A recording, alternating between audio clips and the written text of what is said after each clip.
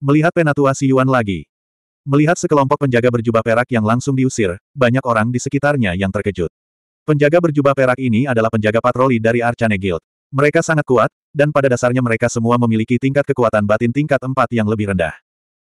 Meski begitu, mereka berhasil dipukul mundur oleh pria parubaya yang sakit-sakitan di depan mereka dalam satu gerakan. Orang ini terlalu menakutkan. Terlebih lagi, kalau dilihat dari kekuatan yang ditunjukkan oleh pria parubaya ini, dia mungkin bukan hanya seorang arcanis tingkat tiga tetapi setidaknya seorang arcanis tingkat empat. Pupil mata pemuda itu mengecil. Ketika penjaga berjubah perak dikalahkan dalam sekejap, dia tahu bahwa pria parubaya di depannya telah menyembunyikan budidayanya. Namun, dia bangga dan sombong dan tentu saja tidak akan menyerah begitu saja. Kamu punya nyali. Beraninya kamu memukul orang di Arcane Guild. Ketua Sing, orang ini sombong dan melanggar hukum. Kita harus menjatuhkannya. Kata-kata pemuda itu benar dan berapi-api, tapi dia dengan cepat mundur selangkah dan bersembunyi di belakang pria parubaya berjubah perak. Tindakan kecil pemuda itu secara alami diperhatikan oleh kepala Sing, tapi dia tidak peduli. Sebaliknya, dia menatap Zuawan dengan acuh tak acuh dan berkata, apalagi yang ingin kamu katakan. Anda memukul penjaga kami di Arcane Guild. Jangan pernah berpikir untuk pergi. Saya tidak ingin ada konflik dengan Anda. Saya di sini untuk mencari Penatua Yuan. Selama saya memanggil Penatua Yuan keluar, semuanya akan beres. Zuawan berkata dengan ringan. Omong kosong. Kamu mengatakan hal yang tidak masuk akal. Penatua Yuan bukanlah seseorang yang bisa Anda temui. Beraninya kamu mengancam untuk bertemu Penatua Yuan setelah memukul orang-orang dari Arcane Guild. Saya rasa Anda pasti pernah memakan isi perut macan tutul. Pemuda itu berteriak lagi. Sambil menggelengkan kepalanya, Zuawan tidak ingin membuat keributan lagi. Sebaliknya, dia mengeluarkan token tetua kedua dan melambaikannya pada pria berjubah perak. Dia berkata, ini adalah tanda tetua kedua. Identitas saya adalah tetua kedua dari persekutuan Arcane. Apakah menurut Anda saya memenuhi syarat untuk bertemu dengan tetua Siwan? Begitu token itu dikeluarkan, aula tiba-tiba menjadi sunyi. Semua orang memandang pria parubaya di depan mereka dengan keterkejutan di mata mereka. Mereka tidak menyangka bahwa pria parubaya yang sakit-sakitan di depan mereka sebenarnya adalah penatua kedua dari persekutuan Arcane, nomor dua setelah penatua Siwan. Penatua kedua yang asli adalah penatua Liuli, tetapi penatua Liuli kemudian dikalahkan oleh seorang pemuda. Sejak itu, Pemuda itu menggantikan penatua Liu Li sebagai penatua kedua. Namun, penatua kedua yang baru sudah lama tidak muncul dan semua orang secara bertahap lupa bahwa masih ada penatua kedua di persekutuan Arcane. Sekarang pria parubaya berwajah pucat ini telah mengambil token tetua kedua, kemungkinan besar dia adalah tetua kedua baru yang sudah lama tidak menunjukkan dirinya. Pria parubaya berjubah perak juga tercengang. Kejutan di matanya bahkan lebih pekat dari yang lain. Berani sekali kamu. Beraninya kamu berpura-pura menjadi penatua kedua. Saya telah mendengar dari guru saya bahwa penatua kedua yang baru adalah seorang pemuda berusia awal 20-an, tetapi Anda sudah setengah baya, jadi bagaimana Anda bisa menjadi penatua kedua? Ketua Sing, jangan tertipu olehnya. Token di tangannya pasti palsu. Di aula yang awalnya sunyi, pemuda itu melompat keluar lagi dan menunjuk ke arah Zuawan dengan tangan kanannya. Matanya penuh rasa tidak percaya. Bagaimanapun juga, dia adalah murid tidak resmi dari tetua ke-9 dan mengetahui karakteristik tetua kedua yang misterius. Pria parubaya pucat di depannya bukanlah penatua kedua. Oh, itu palsu. Kepala penjaga menyipitkan matanya. Dia juga pernah mendengar bahwa tetua kedua adalah seorang pria muda yang sangat kuat. Saat itu, bahkan Penatua Liuli bukanlah tandingannya. Namun, pria parubaya berwajah pucat di hadapannya tampaknya tidak demikian. Beraninya kamu berpura-pura menjadi tetua kedua. Anda sedang mendekati kematian. Wajah kepala Sing agak jelek. Dia mendengus dingin dan kekuatan pikiran dari kelas 4 lengkap melonjak. Dia terbang langsung menuju Zuawan, ingin menyingkirkannya sepenuhnya. Mata Zuawan menjadi lebih dingin. Terlepas dari apakah itu pemuda atau ketua Sing, mereka bersekongkol. Dia bahkan sudah mengeluarkan tanda identitasnya, tapi mereka berdua masih ingin menyangkalnya. Bang! Zuawan menginjak kakinya dan kekuatan pikiran yang menakutkan tercurah. Sebelum kepala Sing bisa mendekati Zuawan, dia hanya merasakan tekanan surgawi menghancurkannya. Kemudian, seluruh tubuhnya terbang ke arah yang berlawanan dan mendarat dengan keras di tanah. Aku berpura-pura. Apa menurutmu aku masih perlu berpura-pura? Zuawan datang ke depan pemuda itu. Ekspresinya dingin dan tanpa emosi. Matanya sangat dingin. Melihat pria parubaya di depannya, pemuda itu begitu ketakutan hingga terjatuh ke tanah dan mengeluh dalam hatinya. Dia tidak menyangka pria parubaya di depannya memiliki kekuatan pikiran yang begitu kuat. Sebaiknya kamu tidak main-main. Ini adalah Arcane Art Guild dan saya adalah murid dari tetua ke-9. Jika kamu main-main, kamu tidak akan bisa keluar dari Arcane Art Guild. Pemuda itu gemetar dan justru berani mengancamnya. Zuawan tidak mau repot-repot berbicara omong kosong dengannya. Tangan kanannya membentuk jari pedang dan tiba-tiba menunjuk ke dahi pemuda itu. Jeritan terdengar dan pemuda itu memegang keningnya dengan kedua tangan dan terus berguling-guling di tanah. Kamu benar-benar menghancurkan laut pengetahuanku. Bagaimana kamu bisa melakukan ini? Teriakan nyaring pemuda itu langsung membuat banyak orang yang hadir terharu. Mata mereka dipenuhi ketakutan. Bagian terpenting dari seorang arcanis adalah laut pengetahuan di kedalaman dahi. Kepentingannya setara dengan dantian seorang seniman bela diri. Jika laut pengetahuan dihancurkan, itu berarti tidak ada tempat untuk menyimpan kekuatan pikiran. Sejak saat itu, dia akan menjadi cacat. Ini hanya hukuman kecil untukmu. Zuawan berkata dengan dingin. Suara mendesing. Terdengar suara menusuk dan seorang lelaki tua berjubah abu-abu keluar dari Arcane Art Guild. Dia datang ke tengah aula dan melihat sekeliling pada penjaga berjubah perak yang dipukuli hingga jatuh dan pemuda yang berteriak. Wajahnya menjadi sangat jelek. Itu tetua kesembilan. Aku bahkan tidak menyangka tetua kesembilan akan keluar. Orang ini memukuli penjaga berjubah perak dan melumpuhkan murid terdaftar tetua kesembilan, Yuse. Aku khawatir tetua kesembilan tidak akan membiarkan orang ini pergi. Mata semua orang terfokus pada tetua kesembilan dan Zuawan yang baru saja muncul. Kau memukuli penjaga berjubah perak dan melumpuhkan Yuse. Tetua kesembilan berteriak dengan marah pada Zuawan. Zuawan menggelengkan kepalanya dan wajahnya perlahan berubah dari pria paruh baya menjadi pria muda. Dia berkata, Tetua kesembilan, saya sudah lama tidak bertemu dengan Anda. Apakah Anda tidak mengenali saya? Penatua kedua, Zuawan, saya pernah mendengar tentang apa yang terjadi di ibu kota kekaisaran. Jadi kamu belum mati. Penatua kesembilan terkejut pada awalnya dan kemudian berkata dengan rasa takut.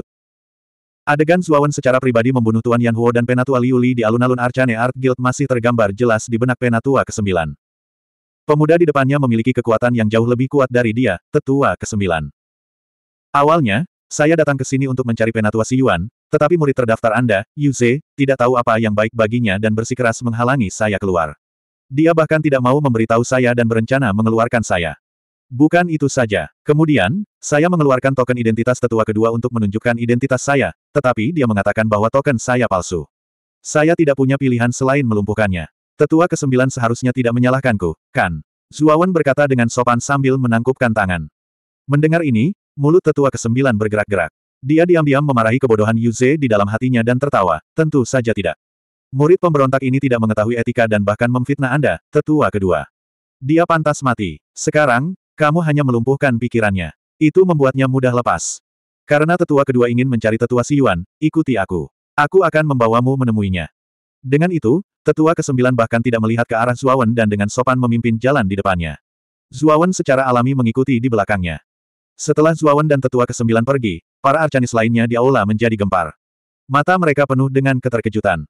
Aku tidak mengira orang ini adalah tetua kedua. Untungnya, aku tidak ikut bersenang-senang. Kalau tidak, Aku tidak akan menjadi lebih baik daripada Yuze. Yuze menuai apa yang dia tabur. Dia mengandalkan identitasnya sebagai murid tetua kesembilan dan terbiasa bertindak seperti seorang tiran. Sekarang dia telah menendang pelat logam, dia layak mendapatkannya. Diskusi di sekitar mereka semakin keras. Yuze perlahan berdiri, matanya dipenuhi kebingungan. Sekarang pikirannya telah lumpuh, dia tidak lagi ditakdirkan menjadi seorang arcanis. Dia hanyalah orang biasa. Mendengar ejekan di sekelilingnya, kebingungan di mata Yu Ze akhirnya digantikan oleh penyesalan. Dia tidak menyangka bahwa dia, Yu Ze, akan berakhir seperti ini karena sifat impulsifnya. Sungguh menyedihkan. Zuawan tentu saja tidak peduli dengan situasi Yu Ze. Pada saat itu, dia mengikuti penatua ke-9 ke dalam asosiasi. Segera, mereka berdua sampai di pintu besi biasa. Penatua ke-9 mengetuk pintu dan berkata, Penatua Si Yuan, Penatua kedua, Zuawan, telah kembali dan ingin bertemu dengan Anda. Berderak. Pintu besi terbuka secara otomatis. Zuawan menemukan bahwa di balik pintu besi itu gelap gulita. Itu sebenarnya adalah jalan yang dalam. Penatua Si Yuan ada di seberang lorong. Kamu boleh masuk. Setelah tetua kesembilan selesai berbicara, dia diam-diam meninggalkan tempat itu. Zuawan melangkah melewati pintu besi dan berjalan di sepanjang lorong tanpa tergesa-gesa. Setelah beberapa saat, dia sampai di sebuah ruangan yang luas. Langit-langit ruangan itu sangat tinggi. Ada banyak rantai besi hitam di atasnya. Ada formasi besar di tengah rantai. Di dalam formasi itu ada dunia es dan salju. Udara dingin sungguh menyesakan. Itu adalah formasi misterius ekstrim yang telah dibentuk oleh Penatua Yuan. Di dalam formasi misterius ekstrim terdapat sembilan jenis kebakaran bumi yang tidak terkendali. Pada saat itu, sembilan jenis kebakaran bumi jauh lebih patuh di bawah kendali formasi misterius ekstrim. Mereka tidak lagi liar dan kejam seperti sebelumnya. Di tengah ruangan, sesosok tubuh tua duduk dengan tenang. Zuawan diam-diam menatap sosok itu dan berkata dengan lembut, Junior Zuawan menyapa Penatua Yuan. Penatua Yuan membuka matanya dan menatap Zuawan. Dia tersenyum dan berkata, kamu telah melakukan banyak hal sensasional di ibu kota kekaisaran. Bahkan banyak orang di kota Bayang mengetahui nama Anda. Zuawan menggaruk kepalanya dan berkata sambil tersenyum masam, Penatua Yuan, jangan mengolok-olok saya. Kultivasi saya tidak cukup. Adapun hal-hal besar itu, itu hanya relatif terhadap pejuang biasa. 842. Meminta. Kata-kata penatua Si Yuan sama sekali tidak mengejutkan Zuawan. Dengan kilatan di matanya, Zuawan berkata, Elder Si Yuan. Sejujurnya, permintaan saya kali ini agak berlebihan, jadi saya harap Anda tidak menyalahkan saya karena bersikap kasar.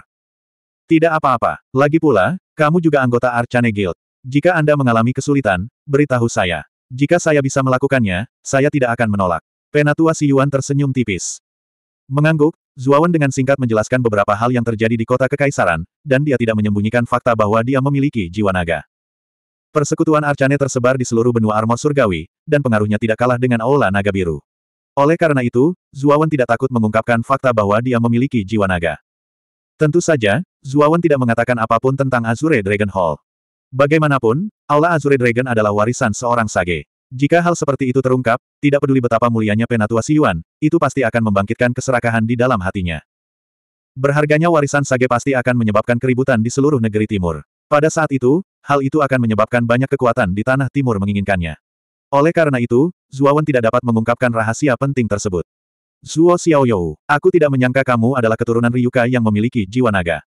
Penatua Yuan memandang Zuawan dengan heran, dan nadanya penuh kejutan. Belum lagi aula naga Azure di kota kekaisaran, Kaisar King tidak akan membiarkanmu pergi. Karena Kaisar King adalah tetua luar dari aula utama Azure Dragon, dan pada saat yang sama, dia memiliki gulungan kontrak yang sangat langka. Dia lebih tertarik pada keturunan Ryuka dengan jiwa naga dibandingkan yang lain. Kata-kata Penatua Yuan menyebabkan murid Zuawan menyusut. Penatua Yuan ini benar-benar tahu banyak. Dia bahkan tahu bahwa Kaisar King adalah tetua luar dari aula utama Azure Dragon. Seniorku yang sangat baik, saudara hentian dari Kabupaten Mukin, ditangkap oleh Kaisar King dan dipenjarakan di penjara kota kekaisaran karena dia menyelamatkanku. Saya ingin menyelamatkan saudara hentian, jadi saya di sini untuk meminta bantuan Anda dari Penatua Yuan. Zuawan berkata dengan agak tulus. Hem, terkurung di ruang bawah tanah kota kekaisaran. Itu adalah tempat yang paling dijaga ketat di kota kekaisaran. Tidak mudah bagimu untuk menyelamatkan seseorang dari dalam, kata Penatua Yuan dengan tatapan serius. Zuawan mengangguk dan berkata, saya tahu. Itu sebabnya saya datang untuk bertanya kepada Penatua Si Yuan kali ini. Saya mendengar bahwa Anda pernah bertarung dengan Kaisar King. Saya tahu bahwa dengan kekuatan Anda, Anda dapat menahannya. Mata Penatua Si Yuan berkedip-kedip saat dia menghela nafas dan berkata, Kaisar King tidak sesederhana yang kamu kira. Kekuatannya tidak terduga. Meskipun saya memiliki beberapa konflik dengan Kaisar King saat itu, Kaisar King tidak menggunakan kekuatan penuhnya. Saya kira jika Kaisar King menggunakan kekuatan penuhnya, bahkan saya pun tidak akan menjadi lawannya. Apa? Apakah Kaisar King begitu kuat? Zuawan bertanya dengan heran. Kuat, dan itu sangat kuat, kata Penatua Si Yuan dengan pasti. Mata Zuawan berkedip. Dia tahu bahwa sejak Penatua Si Yuan berkata demikian, dia mungkin menolak permintaannya. Zuawan menangkupkan tangannya dan berkata, kalau begitu aku harus mengganggumu, Penatua Si Yuan.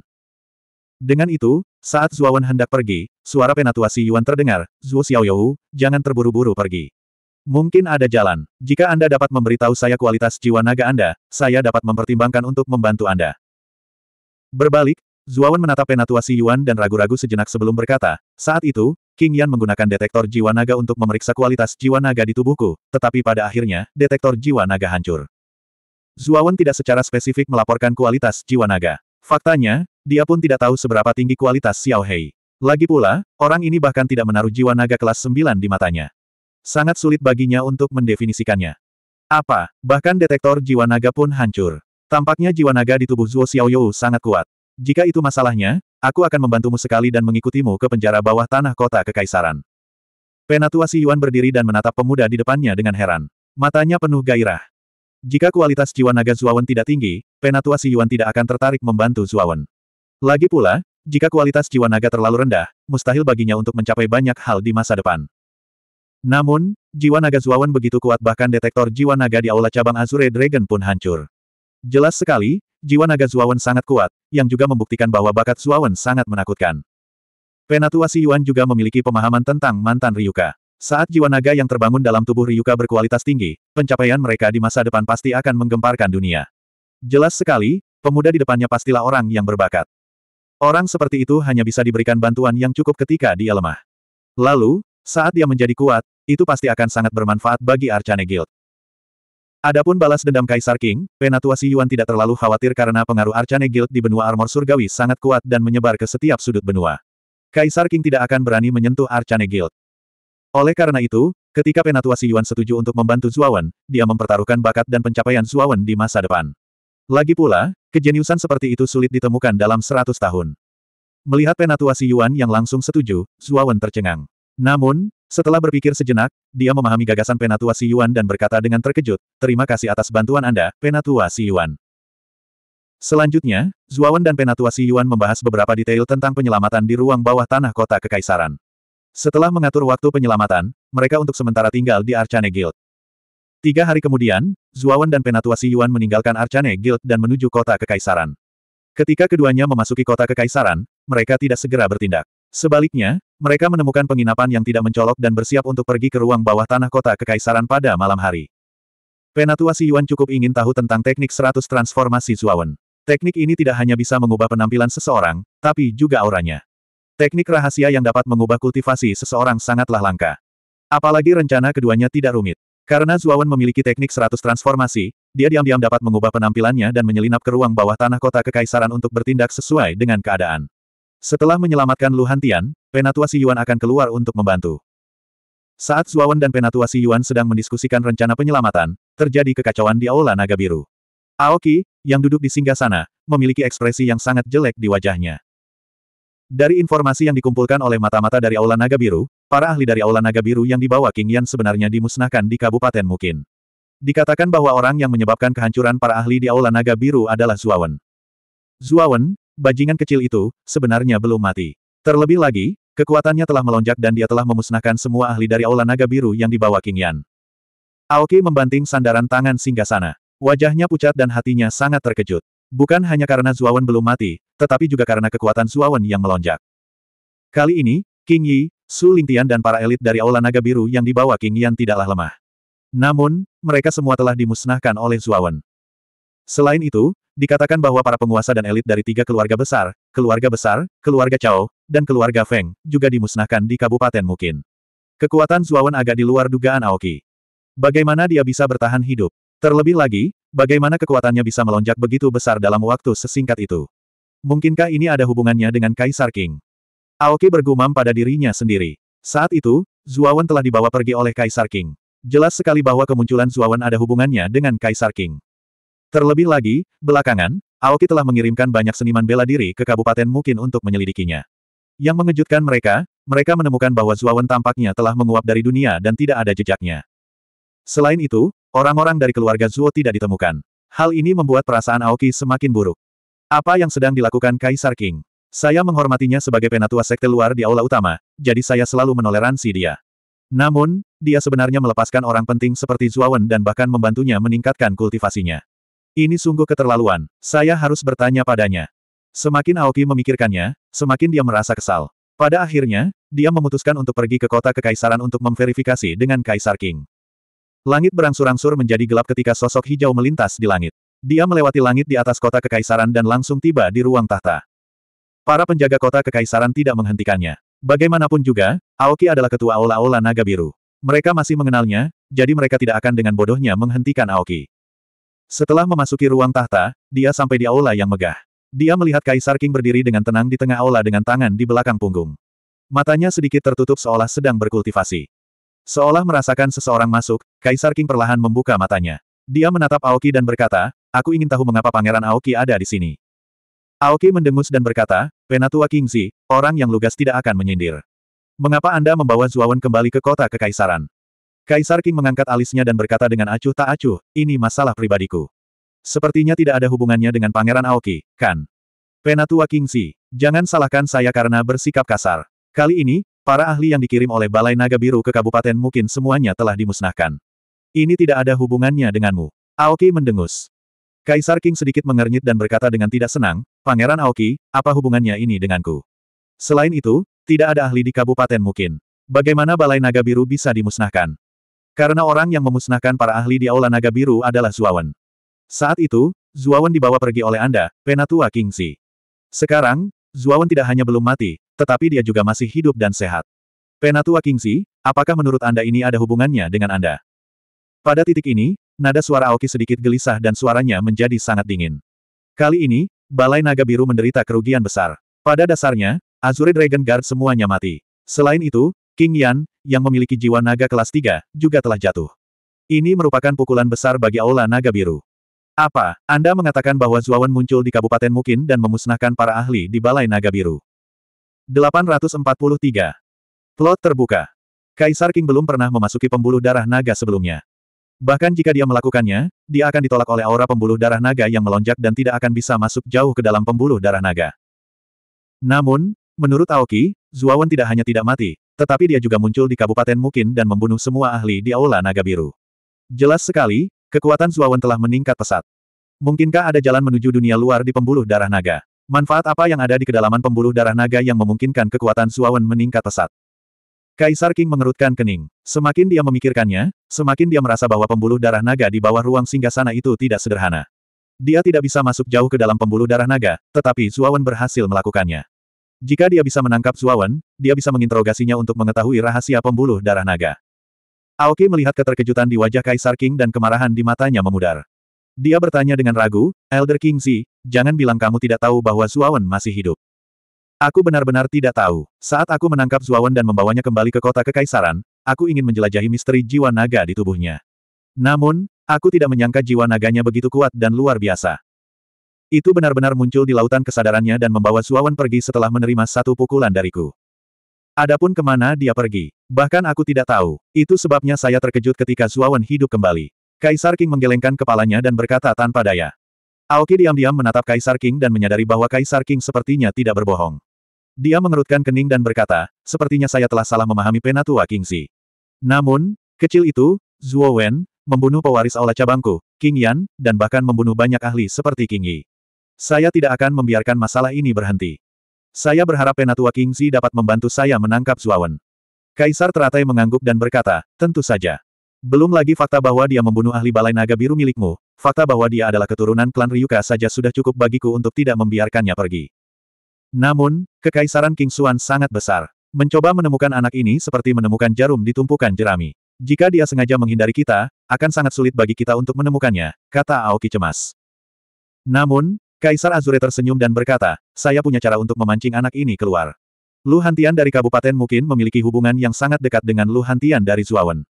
Saat ini, Lu Hantian sedang dipenjara olehku di penjara bawah tanah kota kekaisaran.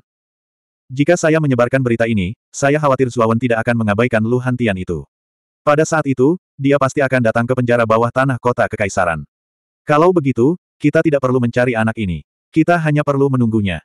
Mata Aoki berkedip. Aoki juga mendengar bahwa Lu Hantian dipenjarakan oleh Kaisar Teratai. Awalnya, dia mengira itu hanya rumor. Sekarang, tampaknya hal itu benar.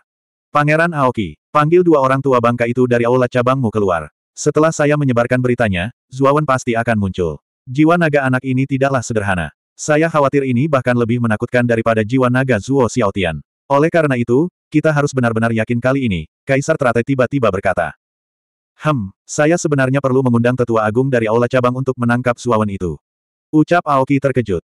Kaisar teratai berkata dengan serius, anak ini tidak sederhana. Kita tidak boleh gegabah. Bukan hanya Anda, Kaisar ini juga akan mengundang lima orang empirean besar dari keluarga kekaisaran. Pada saat itu, kami pasti akan mengepung penjara bawah tanah seluruh kota kekaisaran.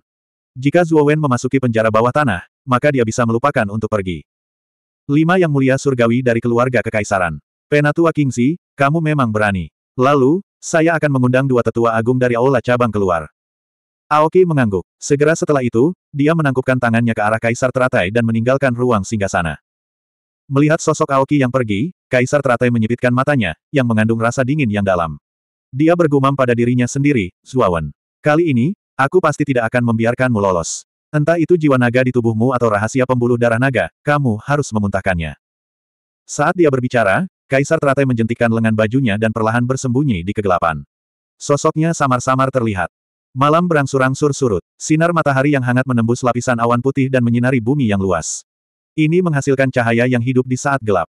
Jalanan ibu kota kekaisaran yang awalnya sepi kini ramai dengan aktivitas. Arus orang yang ramai bagaikan seekor naga panjang, hilir mudik di jalanan. Anda telah mendengar. Kemarin, Kaisar teratai mengeluarkan pengumuman. Konten tersebut konon tentang pakar nomor satu di Kabupaten Mukin, Lu Hantian. Apa, dikatakan bahwa Luhantian adalah seorang ahli di puncak alam kemuliaan ilahi. Kaisar teratai sangat mementingkan orang ini. Apakah dia benar-benar akan memberinya posisi resmi? Tidak terlalu. Saat ini, Luhantian telah menjadi tahanan. Menurut Kaisar teratai, Luhantian bukan dari kekaisaran King Xuan kita. Sebaliknya, dia adalah mata-mata dari Kekaisaran Yansuan, yang merupakan tetangga Kekaisaran King Xuan kita.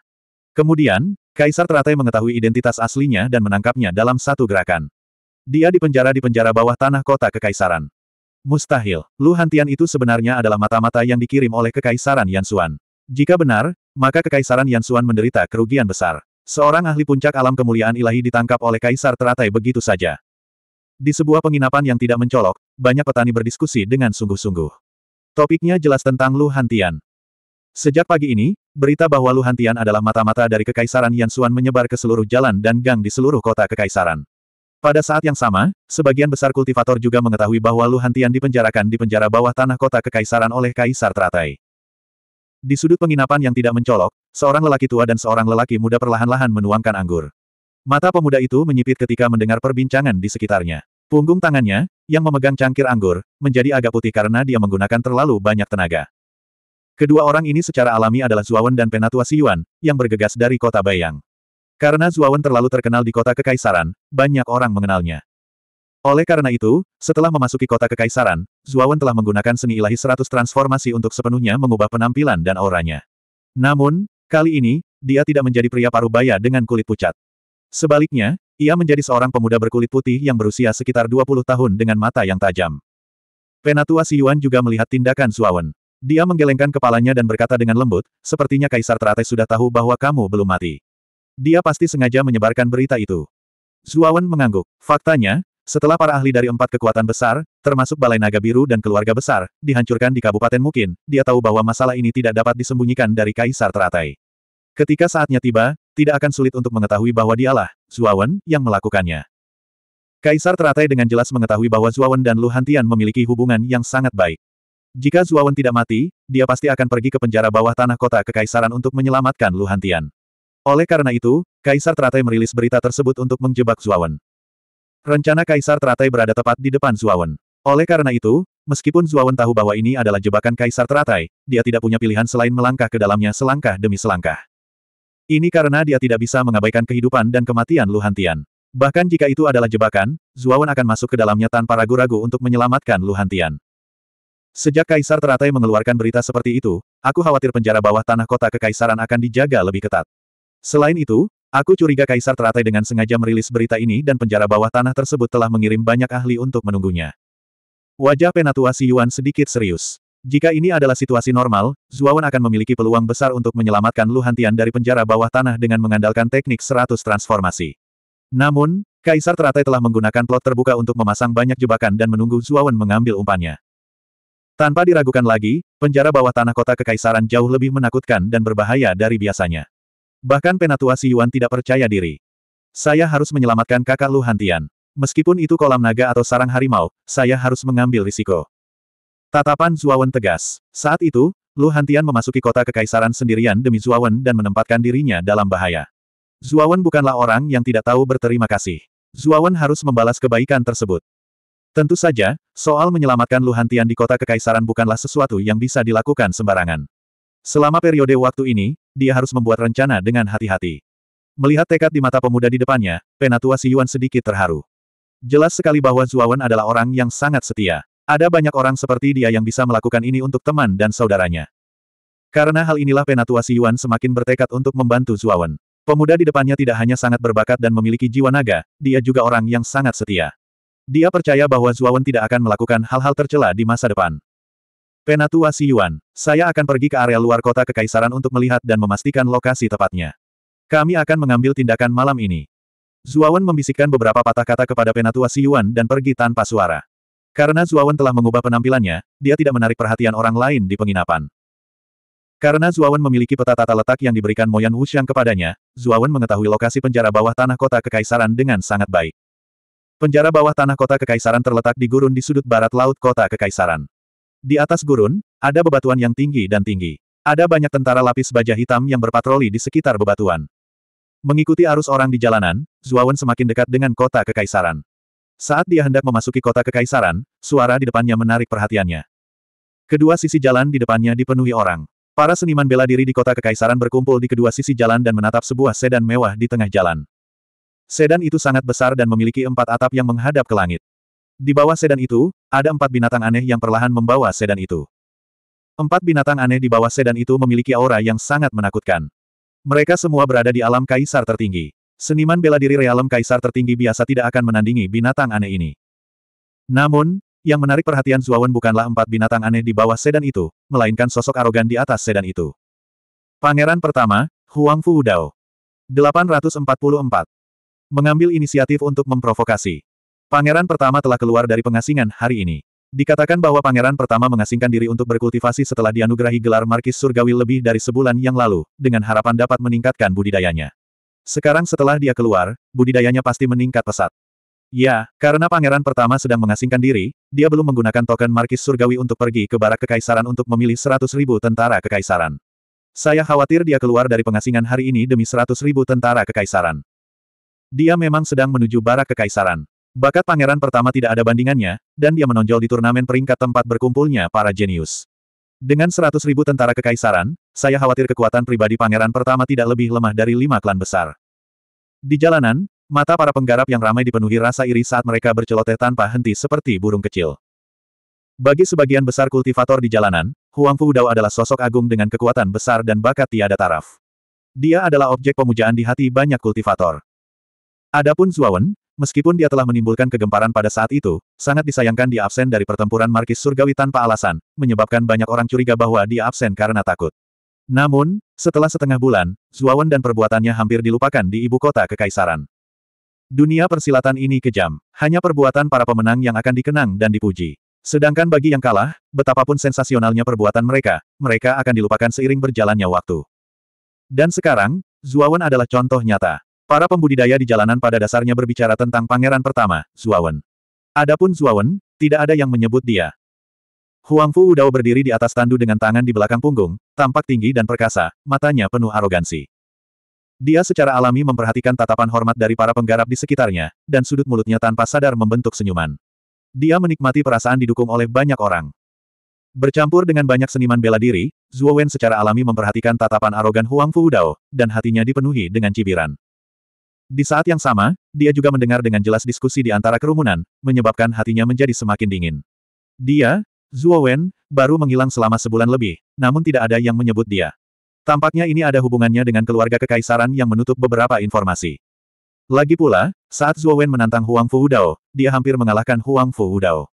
Masalah ini sangat sensasional di kota kekaisaran, tapi sekarang sepertinya tidak ada yang menyebutkan masalah ini. Jelas sekali, keluarga kekaisaran telah menutup berita ini. Oleh karena itu, sebagian besar orang di ibu kota kekaisaran hanya mengetahui bahwa Zuawan takut absen selama pertempuran Markis Surgawi, yang memungkinkan Huang Fu Dao dengan lancar mendapatkan posisi Markis Surgawi. Pangeran pertama memang kuat, namun, Zuawan juga tidak lemah.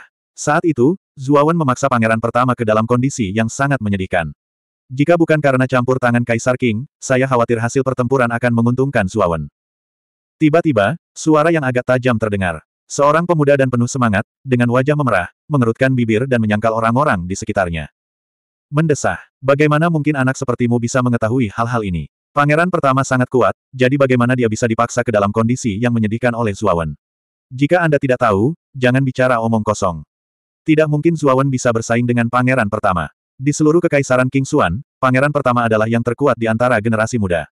Meskipun Zuawan kuat, dia seharusnya berada di bawah pangeran pertama. Banyak kultivator di sekitar yang menunjuk ke arah pemuda tersebut, perkataan mereka mengandung banyak kritik, mengira bahwa pemuda tersebut berbicara omong kosong. Huh, saya sedang berada di sekitar alun-alun di depan ruang singgasana saat itu, dan saya melihatnya dengan mata kepala sendiri. Meskipun pangeran pertama sangat kuat, Zuawan juga tidak lemah. Bagaimanapun, saya merasa Zuawan sangat kuat, kata pemuda itu dengan keras kepala dengan wajah merah. Suara mendesing. Suara udara terkoyak terdengar. Huang Fu Udao, yang semula berdiri di atas tandu, tanpa sadar telah tiba di depan pemuda itu. Dia menatap pemuda itu dengan dingin dan berkata dengan suara dingin, apakah maksudmu aku lebih rendah dari Zuawan? Kemunculan Huang Fu Wudao langsung mengintimidasi banyak pembudidaya di sekitarnya. Apalagi para penggarap ini terus-menerus mundur, tidak berani terlalu dekat dengan para pemuda. Reputasi Huang Fu Wudao yang kejam dan kejam terkenal di seluruh ibu kota kekaisaran. Jika seseorang tidak berjalan sesuai keinginannya sedikit pun, hasilnya tidak akan terlalu baik.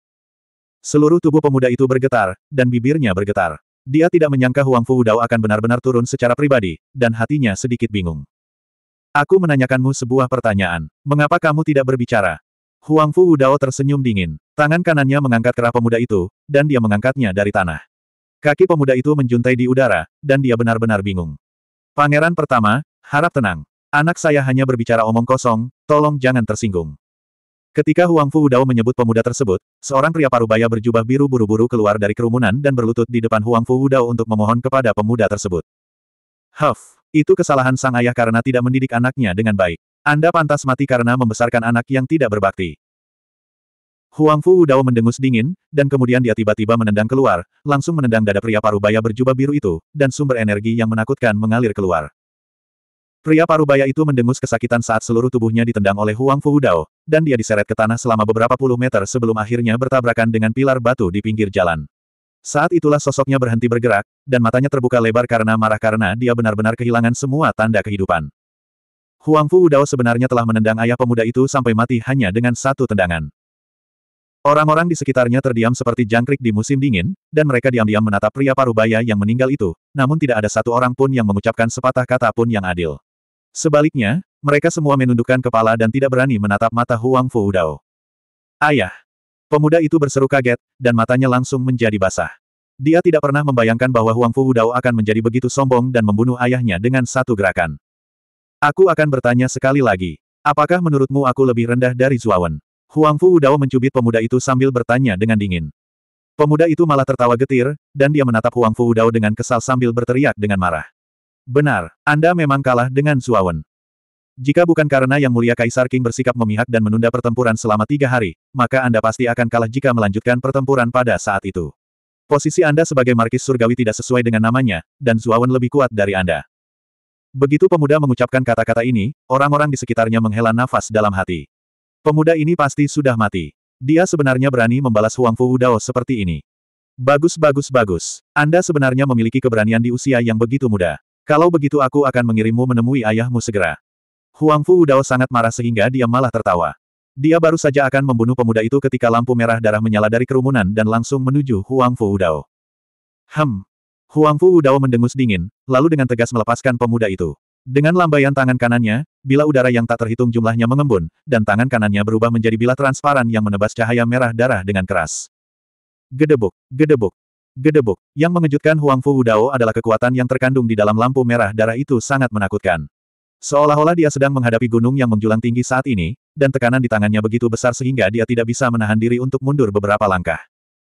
Saat mereka menyaksikan Huang Fu Dao mundur, lingkungan sekitar menjadi sunyi. Kemudian mereka melihat bahwa benda yang memaksa Huang Fu Dao mundur sebenarnya adalah tombak aneh berwarna merah darah. Pada saat ini, tombak merah darah itu terbalik di depan semua orang, dan permukaannya diliputi aura berdarah. Pemuda itu juga bangun pada saat ini, dan jejak cahaya bersinar di matanya saat dia melihat tombak merah darah di depannya. Siapa ini?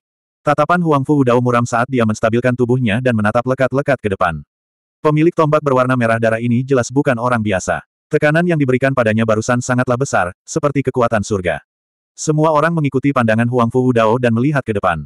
Mereka semua penasaran siapa yang menggunakan tombak merah darah ini. Gedebuk, gedebuk, Gedebuk, langkah kaki yang jelas dan merdu terdengar, dan sosok yang tinggi dan lurus seperti pohon pinus diam-diam keluar dari kerumunan. Orang yang muncul di hadapan semua orang adalah seorang pemuda berpakaian putih dengan tatapan tajam. Seluruh tubuhnya bersih, dan dia tampak sangat bersih. Semua orang tercengang sekali lagi saat melihat pemuda ini. Itu bukan karena penampilan atau temperamen pemuda tersebut, namun karena pemuda ini terlihat berusia awal 20-an, dan bahkan sedikit lebih muda dari Huang Fu Dao. Namun tombak berwarna merah darah yang dia gunakan tadi sebenarnya telah memaksa Huang Fu Dao mundur beberapa langkah, dan ini sangat jarang terjadi di antara para pembudidaya pada usia yang sama. Siapa kamu? Tatapan mata Huang Fu Dao muram. Dia tidak menyangka bahwa orang yang bergerak sebenarnya adalah pemuda yang terlihat lebih muda darinya, dan ada sedikit keterkejutan di hatinya.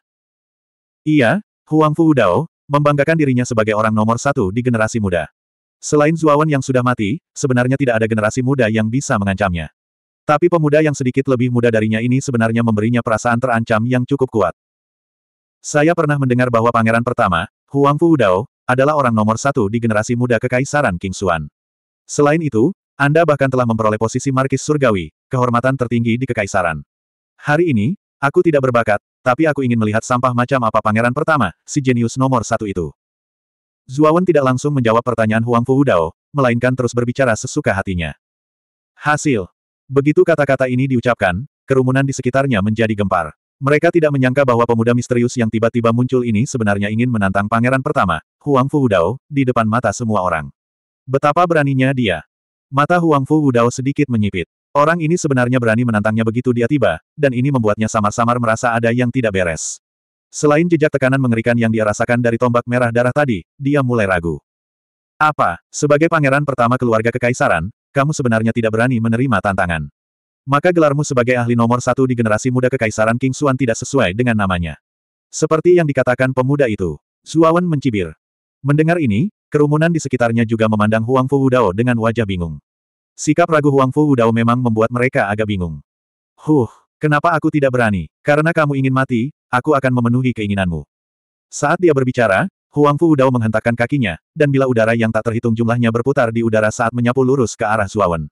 Ketika dia sampai di atas Zuawan, dia mengulurkan tangan kanannya, dan bila udara yang tak terhitung jumlahnya berubah menjadi badai yang menyelimuti kepala Zuawan. Kemajuan Huang Fu Wudao tidak lambat, dan dia sebenarnya sudah berada pada tahap lanjutan dari alam Xuanzun. Bakatnya memang tidak lemah, namun Zuawan saat ini tidak lagi sama seperti sebelumnya, dan ia sama sekali tidak takut pada Huang Fu Wudao. Sebaliknya, yang patut ditakuti adalah Huang Fu Wudao. 845. Teknik tombak naga hitam. Cahaya darah menyala saat tombak darah aneh itu langsung tiba di depan Huang Fu Wudao. Murid Huang Fu Wudao menyusut saat dia buru-buru mundur untuk menghindari tombak darah aneh itu. Namun, yang menyebabkan ekspresi Huang Fu Wudao menjadi jelek adalah dengan setiap langkah dia mundur, tombak darah itu akan semakin mendekat. Dalam sekejap, benda itu sudah dekat dengan lehernya, seolah bisa membunuhnya kapan saja. Tombak darah yang aneh. Ular berkepala sembilan, keluar. Ekspresi Huang Fu Wudao menjadi semakin mengerikan ketika dia merasakan tombak darah yang seperti belatung di tulangnya. Dia menginjak kakinya, dan kepala ular berkepala sembilan melesat keluar dari tubuhnya dan langsung menggigit tombak darah yang melintas. Dentang. Suara benturan logam yang jelas terdengar saat tombak darah itu diblokir oleh serangan kepala ular berkepala sembilan dan berhenti di udara. Ledakan. Pada saat yang sama, tubuh besar ular berkepala sembilan telah sepenuhnya muncul dari tubuh Huang Fu Udao. Tubuh ular yang menakutkan itu panjangnya beberapa ratus meter dan tampak sangat menakutkan dan mengejutkan. Sisik seukuran telapak tangan menutupi seluruh tubuh ular berkepala sembilan itu, memancarkan cahaya dingin. Pangeran pertama bahkan telah menggunakan jiwa pelindung ular berkepala sembilan. Sepertinya pemuda tombak darah ini sangat kuat. Banyak orang di sekitar berdiskusi dengan penuh semangat ketika mereka melihat ular besar berkepala sembilan di langit. Kejutan terungkap di wajah mereka. Mati. Huang Fu Udao melolong keras dan menginjakan kakinya ke kepala ular berkepala sembilan itu. Seketika, tubuh besar ular berkepala sembilan itu melesat ke arah Zuo Wen dengan kecepatan yang sangat cepat. Tatapan Zuawan acuh tak acuh saat dia memberi isyarat dengan tangan kanannya dan menangkap tombak darah yang telah dikirim terbang. Dia menatap ular berkepala sembilan yang mendekat dan mengayunkan tombak darahnya. Segera, lautan darah yang mengerikan itu berubah menjadi pusaran berwarna darah dengan dia di tengahnya dan membubung ke langit. Ular berkepala sembilan dan Huang Fu Wudao tidak pernah membayangkan bahwa Zuawan tiba-tiba akan menggunakan lautan serangan darah yang begitu mengerikan. Mereka sebenarnya berada di ambang kehancuran akibat dampak pusaran lautan darah, dan momentum penyelaman mereka jelas menjadi tidak stabil. Pengorbanan untuk tujuan mulia, transformasi Asura. Suara dingin datang dari lautan darah. Kemudian, Zuo Wen bergegas keluar dari lautan darah dan tiba di depan Hydra dalam sekejap. Dengan bunyi denting, tombak darah itu melesat keluar dan memblokir kepala Hydra di depan. Segera setelah itu, semua orang menyaksikan dengan takjub ketika kepala ular itu benar-benar berputar dan meledak menjadi kabut berdarah. Swosh swosh swosh. Seketika, Zuawan berubah menjadi bayangan darah ilusi yang sangat gesit seperti ikan di lautan darah. Di sisi lain, gerakan ular berkepala sembilan menjadi sangat lamban di lautan darah seolah-olah jatuh ke rawa. Bang bang. Memanfaatkan keuntungannya di lautan darah, Zuo Wen melepaskan beberapa tembakan berturut-turut, sekaligus meledakkan sisa kepala Hydra menjadi bubur berdarah. Tangisan sedih itu bagaikan guntur yang bergemuruh di udara. Ular berkepala sembilan yang telah kehilangan sembilan kepalanya tiba-tiba jatuh ke lautan darah, berubah menjadi bola cahaya yang masuk kembali ke tubuh Huang Fu Wudao. Ekspresi Huang Fu Wudao sangat tidak sedap dipandang. Kesembilan kepala ular berkepala sembilan telah dihancurkan oleh Zuawan. Lukanya parah, dan mungkin butuh waktu sangat lama baginya untuk pulih. Huang Fu Wudao, pangeran pertama keluarga kekaisaran dan ahli nomor satu generasi muda kekaisaran King Xuan, apakah hanya ini yang kamu punya? Bahkan jiwa pelindung ular berkepala sembilan tidak dapat menahan satu pukulan pun. Anda benar-benar tidak sesuai dengan gelar Anda sebagai pakar nomor satu di generasi muda. Zuawan menatap Huang Fu Wudao dengan acuh tak acuh saat dia menginjak lautan darah. Suaranya penuh dengan ejekan. Orang ini sangat kuat. Dia jauh lebih muda dari pangeran pertama, tapi dia benar-benar menghancurkan jiwa pelindung ular berkepala sembilan milik pangeran pertama. Dia terlalu menakutkan. Semua orang yang hadir bukanlah orang bodoh ketika mereka melihat bagaimana Zuawan membunuh ular berkepala sembilan itu dengan begitu mudah. Mereka semua tahu bahwa pemuda dengan tombak darah itu kemungkinan besar jauh lebih kuat daripada Huang Fu Udao. Bagaimanapun, Huang Fu Udao telah menggunakan perwujudan jiwa pelindung jiwanya, sedangkan pemuda misterius dengan tombak darah telah menghancurkan ular berkepala sembilan hanya dengan tombak darah. Siapa pun yang memiliki mata tajam dapat melihat perbedaan antara keduanya. Ekspresi Huang Fu Udao sangat suram. Jiwa pelindung ular berkepala sembilan miliknya telah dihancurkan dengan begitu mudah. Dia benar-benar kehilangan muka. Astaga! Zuawan menginjak kakinya dan berubah menjadi bayangan darah saat dia menyapu menuju Huang Fu Udao. Tombak darah di tangannya terulur, dan lautan darah tersapu. Dia sebenarnya bermaksud menyelimuti Huang Fu Udao. Ki seperti sungai gantung. Huang Fu Udao meraung marah. Aliran udara yang tak terhitung jumlahnya mengalir secara terbalik, berubah menjadi pusaran bila udara yang kuat di depannya. Itu adalah ki seperti sungai gantung yang telah menjebak Zuawan sebelumnya. Tatapan Zuawan acuh tak acuh. Dia mengayunkan tombak darah di tangan kanannya, dan lautan darah yang menakutkan berubah menjadi pilar darah yang terus berputar. Itu secara langsung meledakkan ki seperti sungai gantung. Retakan. Suara pecahan kaca terdengar. Seketika, seluruh ki seperti sungai gantung runtuh. Pada akhirnya, tombak darah itu tiba-tiba melesat dan langsung menembus dada kanan Huang Fu Dao, memakukannya ke pilar batu besar di belakangnya. Pada saat ini, lingkungan sekitar tiba-tiba menjadi sunyi.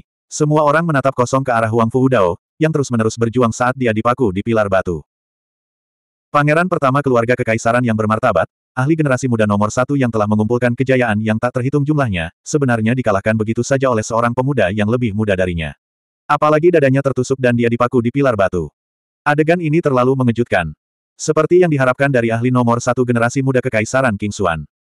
Kata-kata mengejek Zuawan segera menyebabkan Huang Fu Dao terkejut sekaligus marah, dan dia tiba-tiba mengeluarkan seteguk darah.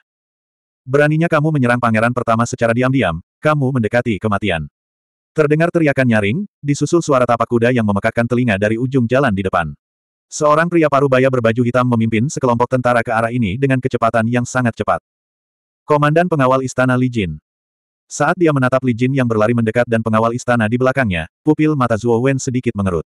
Zuo Wen secara alami mengenal Li Jin karena Li Jin lah yang memimpin para jenius dari kabupaten mungkin ke ibu kota kekaisaran untuk pertama kalinya. Suara mendesing. Kaki Li Jin menamparkan perut kudanya, dan seluruh tubuhnya melayang ke udara. Dalam sekejap, dia tiba di depan Huang Fu Dao, yang dipaku ke tanah oleh tombak darah. Melihat ekspresi sedih Huang Fu Dao, mata Li Jin muram. Dia mencabut tombak darahnya dan membantu Huang Fu Dao turun. Komandan Li, orang ini menyerangku dari belakang tanpa alasan dan melukaiku. Dia benar-benar tercela dan tak tahu malu. Anda tidak bisa membiarkan orang tercela ini pergi. Huang Fu Dao menunjuk ke arah Zuawan dan berteriak dengan suara gemetar. Mata Zuawan menyipit, dan sedikit rasa dingin memenuhi udara. Ini adalah kedua kalinya Huang Fu Dao memfitnahnya karena Zuawan menyerangnya. Pertama kali adalah saat pertempuran Markis. Kali ini, Huang Fu Dao dikalahkan di depan semua orang, dan dia masih berani mengucapkan kata-kata tidak berdasar seperti itu. Di sisi lain, semua orang di sekitar mengungkapkan ekspresi aneh. Mereka telah menyaksikan pertarungan antara Zuo Wen dan Huang Fu Dao dari awal hingga akhir, dan tidak pernah disebutkan adanya serangan diam-diam. Tapi sekarang, Huang Fu Dao dengan benar mengatakan bahwa Zuo Wen telah menyerangnya. Apakah dia masih menginginkan wajah? Namun, tidak ada yang membantah. Semua orang menundukkan kepala dan tidak berani mengucapkan sepatah kata pun. Apakah itu Huang Fu Dao atau Li Jin, mereka tidak boleh menyinggung perasaan mereka. Jika mereka menjadi perantara bagi pemuda dengan tombak darah di depan mereka, mereka akan berakhir dalam keadaan yang menyedihkan. Anak nakal yang tercela. Beraninya dia menyerang pangeran pertama. Li Jin bahkan lebih marah lagi. Dengan jentikan tangan kanannya, tombak darah yang diambilnya dari tubuh Huang Fu Dao tiba-tiba terlempar ke arah Zuawan. Kecepatannya sangat cepat hingga hampir merobek udara. Zuawan berdiri diam di tempat. Ketika tombak darah tiba di depannya, lautan darah melonjak. Tombak darah itu dengan sadar berhenti di samping Zuawan, patuh seperti rusa. Kamu bilang aku menyerangnya. Mengapa saya harus menyerang sampah seperti itu? Zuawan mencibir. Huh, anda masih ingin berdalih. Anda hanya dari alam Suansun. Kekuatan apa yang kamu miliki untuk mengalahkan pangeran pertama? Itu jelas merupakan serangan diam-diam. Sungguh orang yang hina dan tidak tahu malu. Suara Li Jin bahkan lebih dingin. Dia sama sekali tidak mempercayai kata-kata Zuawan. Tuan Li Jin, apa yang dikatakan kakak ini semuanya benar. Huang Fu Udao memang dikalahkan olehnya. Namun, Huang Fu Udao benar-benar tidak tahu malu. Dia sebenarnya memfitnah kakak laki-laki ini karena melancarkan serangan diam-diam. Ini sungguh merusak statusnya sebagai seorang pangeran. Tiba-tiba, pemuda yang telah diberi pelajaran oleh Huang Fu Dao tiba-tiba berbicara dan menunjuk ke arah Huang Fu Dao dengan ekspresi marah. Hem, benar-benar omong kosong. Saya pikir Anda harus bersekongkol dengan orang yang tercela dan tidak tahu malu ini. Hari ini, Aku akan menangkap kalian berdua dan melemparkan kalian ke penjara bawah tanah kota kekaisaran. Saat dia berbicara, Li Jin maju selangkah dan seluruh tubuhnya berubah menjadi badai. Tombak hitam besar mengembun di tangan kanannya dan ditembakkan ke arah Zuawan dan pemuda itu. Penjara bawah tanah kota kekaisaran. Ini sudah berakhir. Pemuda dan pemuda ini telah tamat. Begitu mereka memasuki ruang bawah tanah kota kekaisaran, mereka bisa lupa untuk keluar. Mendengar kata-kata Li Jin, orang-orang di sekitarnya mengungkapkan ekspresi terkejut. Penjara bawah tanah kota kekaisaran sangat terkenal di kota kekaisaran. Bisa dikatakan ini adalah mimpi buruk bagi semua kultivator. Setelah dipenjara di penjara bawah tanah kota kekaisaran, tidak ada harapan untuk pergi, karena itu tidak mungkin. Oleh karena itu, untuk sesaat, tatapan semua orang ke arah Zuawan dan pemuda itu membawa sedikit rasa kasihan. Huff, ingin memenjarakanku di penjara bawah tanah kota kekaisaran. Itu tergantung pada kemampuan Anda. Zuawan dengan dingin mendengus. Demikian pula, dia tidak mau kalah. Dia dengan keras mengayunkan tombak darahnya, menyebabkan lautan darah yang tak berujung melonjak dan mengalir menuju Li Jin. Teknik tombak naga hitam. Li Jin berteriak keras dan tombak hitam besar itu menusuk ke depan. Seketika, kabut hitam yang tak terhitung jumlahnya melonjak dan benar-benar membentuk naga hitam besar yang terus-menerus berenang mengelilingi tombak hitam besar itu. Bang! Tombak hitam besar itu menemani naga hitam besar itu dan akhirnya menghantam lautan darah. Selanjutnya, ledakan mengerikan bergema dan lautan darah yang melonjak benar-benar terkoyak oleh naga hitam besar. Suara mendesing. Aura tombak hitam besar itu seperti pelangi yang langsung tiba di depan Zuawan. Ia ingin mencekik Zuawan sepenuhnya. Dong! Suara benturan logam yang tajam terdengar. Setelah itu, Li Jin terkejut saat mengetahui bahwa tombak hitam besarnya sebenarnya tidak bergerak seolah-olah telah dibekukan. Dia mengangkat kepalanya dan segera melihat bahwa di depan Zuawan, sebuah tungku besar tanpa sadar muncul. Kuali matahari ilahi, bakar untukku. Suara dingin Zuawan terdengar. Setelah itu, nyala api matahari yang mengerikan melonjak dan menyelimuti seluruh tubuh Li Jin, menyebabkan dia buru-buru menghalangi dan panik. Sungguh harta roh yang menakutkan. Ini adalah kekuatan harta roh tingkat kerajaan. Mata Li Jin dipenuhi dengan keterkejutan saat dia dengan kuat menahan korosi dari nyala api matahari. Siapa sebenarnya pemuda di depannya ini? Dia sebenarnya memiliki harta roh Royal Rank. Suara mendesing. 846. Penguasa surgawi yang memiliki alis putih. Astaga! Sebuah kepala keluar dari kuali matahari ilahi bersama dengan pilar darah. Darah segar menguap di bawah teriknya api matahari. Semua orang mengangkat kepala dan melihat kepala yang terbang ke udara. Tatapan mereka mengeras dan wajah mereka membeku. Untuk sesaat, Suasana di sekitarnya menjadi sunyi senyap. Huang Fu Udao menutupi lukanya dan melihat kepala yang tiba-tiba terbang ke udara. Mulutnya sedikit menganga dan dia linglung. Komandan pengawal kekaisaran, Li Jin, adalah seorang elit yang berada pada tahap awal alam kemuliaan emas. Namun, dia telah dipenggal oleh pemuda berjubah putih di depannya dan mati begitu saja. Pada saat itu, pikiran pertama di benak setiap orang adalah bahwa ini pasti ilusi. Namun, Ketika kepala Li Jin jatuh ke tanah dan berguling ke sisi kaki Huang Fu Dao, semua orang menyadari bahwa ini bukanlah ilusi. Itu benar-benar terjadi. Komandan pengawal istana Li Jin memiliki status tinggi di kota kekaisaran dan merupakan bawahan terpercaya yang langsung menerima perintah dari Kaisar King. Dalam keadaan normal, Li Jin adalah sosok yang ditakuti oleh banyak seniman bela diri di kota kekaisaran. Tapi sekarang, Li Jin yang biasanya menakjubkan, yang ditakuti oleh semua orang, kepalanya terlempar oleh tombak pemuda tak dikenal di depan mereka. Siapa, siapa orang ini? Bahkan Li Jin dikalahkan oleh satu serangan tombak. Bukankah ini terlalu menakutkan? Apakah ini ilusi? Komandan pengawal istana Li Jin, yang menjaga kota kekaisaran, dibunuh begitu saja. Setelah keheningan, kerumunan itu tersentak. Mereka tidak dapat membayangkan komandan pengawal istana Li Jin, yang biasanya tinggi dan perkasa, akan dibunuh begitu saja. Ini terlalu mengejutkan. Membunuh. Orang ini sebenarnya membunuh komandan. Mari kita balas dendam pada komandan. Ketika semua orang sadar kembali, kelompok pengawal istana yang menunggangi kuda tinggi tidak jauh dari situ adalah orang pertama yang pulih dari keterkejutan mereka. Kemudian, mereka menyerang Zuawan dengan mata merah. Li Jin meninggal begitu saja di depan mereka. Jika Kaisar King ingin menghukum mereka, mereka tidak akan bisa hidup. Oleh karena itu, jika mereka ingin hidup, mereka harus menangkap pelakunya dan menyerahkannya kepada Kaisar King. Mata Zuawan dingin saat dia menatap dengan acuh tak acuh pada pengawal istana yang menyerbu ke arahnya. Dengan hentakan kakinya, tombak darah di tangannya melesat keluar, membawa lautan darah yang tak ada habisnya. Jeritan terdengar terus-menerus. Kemudian, kelompok pengawal istana berubah menjadi awan kabut darah di lautan darah yang tak berujung. Dalam sekejap mata, mereka semua terbunuh. Melihat pengawal istana yang dimusnahkan, semua orang tersentak lagi. Pemuda berjubah putih ini kejam. Dia sebenarnya telah membunuh pengawal istana begitu saja. Semua pengawal istana ini adalah bawahan langsung Kaisar King. Jika mereka dibunuh begitu saja, Kaisar King mungkin akan marah besar. Siapa ini? Beraninya kamu membuat masalah di kota kekaisaranku. Saya pikir Anda memiliki keinginan mati. Dari Istana Surga. Teriakan nyaring tiba-tiba terdengar dari dalam kota kekaisaran. Sosok yang tampak seperti burung rok yang melebarkan sayapnya dengan cepat terbang mendekat. Orang ini adalah seorang pria parubaya berusia empat puluhan. Rambutnya hitam putih, alisnya panjang dan putih pucat. Dia mengenakan jubah hitam bermotif dan bergegas membawa hembusan angin. Terutama ketika orang ini melihat pengawal istana yang dimusnahkan dan Huang Fu Dao yang terluka, kemarahan di matanya menjadi semakin kuat. Sepertinya dia ingin melahap seseorang. Penguasa surgawi alis putih. Selamatkan aku. Orang ini keji.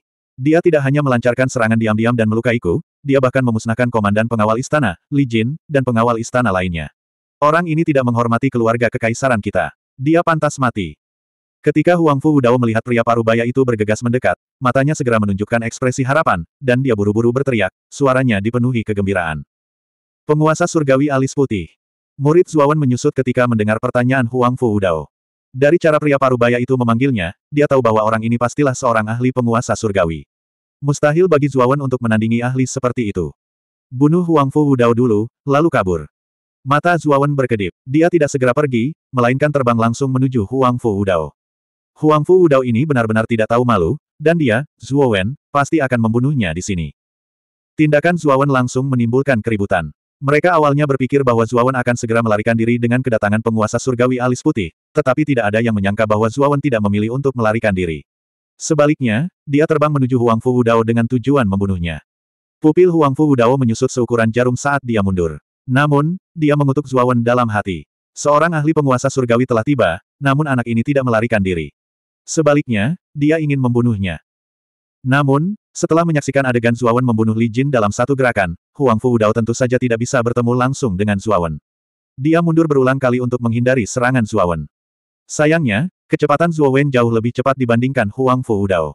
Pada saat ini, tombak darah membawa kekuatan yang tak tergoyahkan saat menyapu jantung Huang Fu Dao, ingin membunuhnya secara langsung. Pencuri yang berani, kamu benar-benar berani mencoba membunuh pangeran pertama di depanku. Teriak penguasa surgawi yang beralis putih. Dia tiba-tiba menamparkan tangan kanannya, dan energi asal yang menakutkan berkumpul membentuk telapak tangan seperti gunung. Ia langsung muncul di atas Zuawan, lalu tiba-tiba turun, mendarat tepat di atas kepala Zuawan. Kekuatan yang sangat menakutkan. Hati Zuawan bergetar ketika dia merasakan telapak energi asal runtuh dari atas. Kekuatan yang terkandung dalam telapak energi asal ini sangat menakutkan.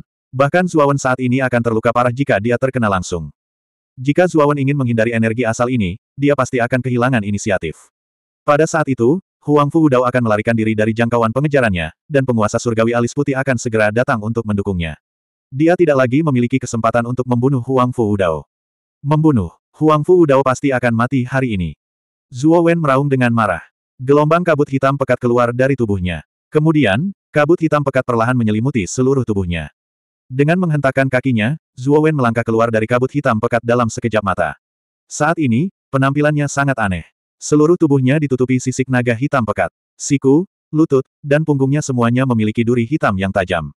Wajahnya juga ditutupi sisik naga hitam, dan matanya berubah menjadi emas gelap. Ekor naga besar tumbuh dari ujung tulang punggungnya. Itu seperti cambuk besar, dan dengan sedikit ayunan, itu bisa memicu angin kencang yang sangat dahsyat. Zuawan tidak lagi menahan diri saat menghadapi serangan penguasa surgawi. Dia secara langsung mewujudkan jiwa naganya dan berubah menjadi bentuk manusia naga miliknya. Menurut Xiao Hei, pertahanan wujud manusia naga itu sangat tidak normal. Itu jauh lebih menakutkan daripada Grid Sun Nirvana, dan bisa dianggap sebagai kartu truf terkuat Zuawan. Perubahan mendadak Zuawan juga membuat para penonton menjadi bingung.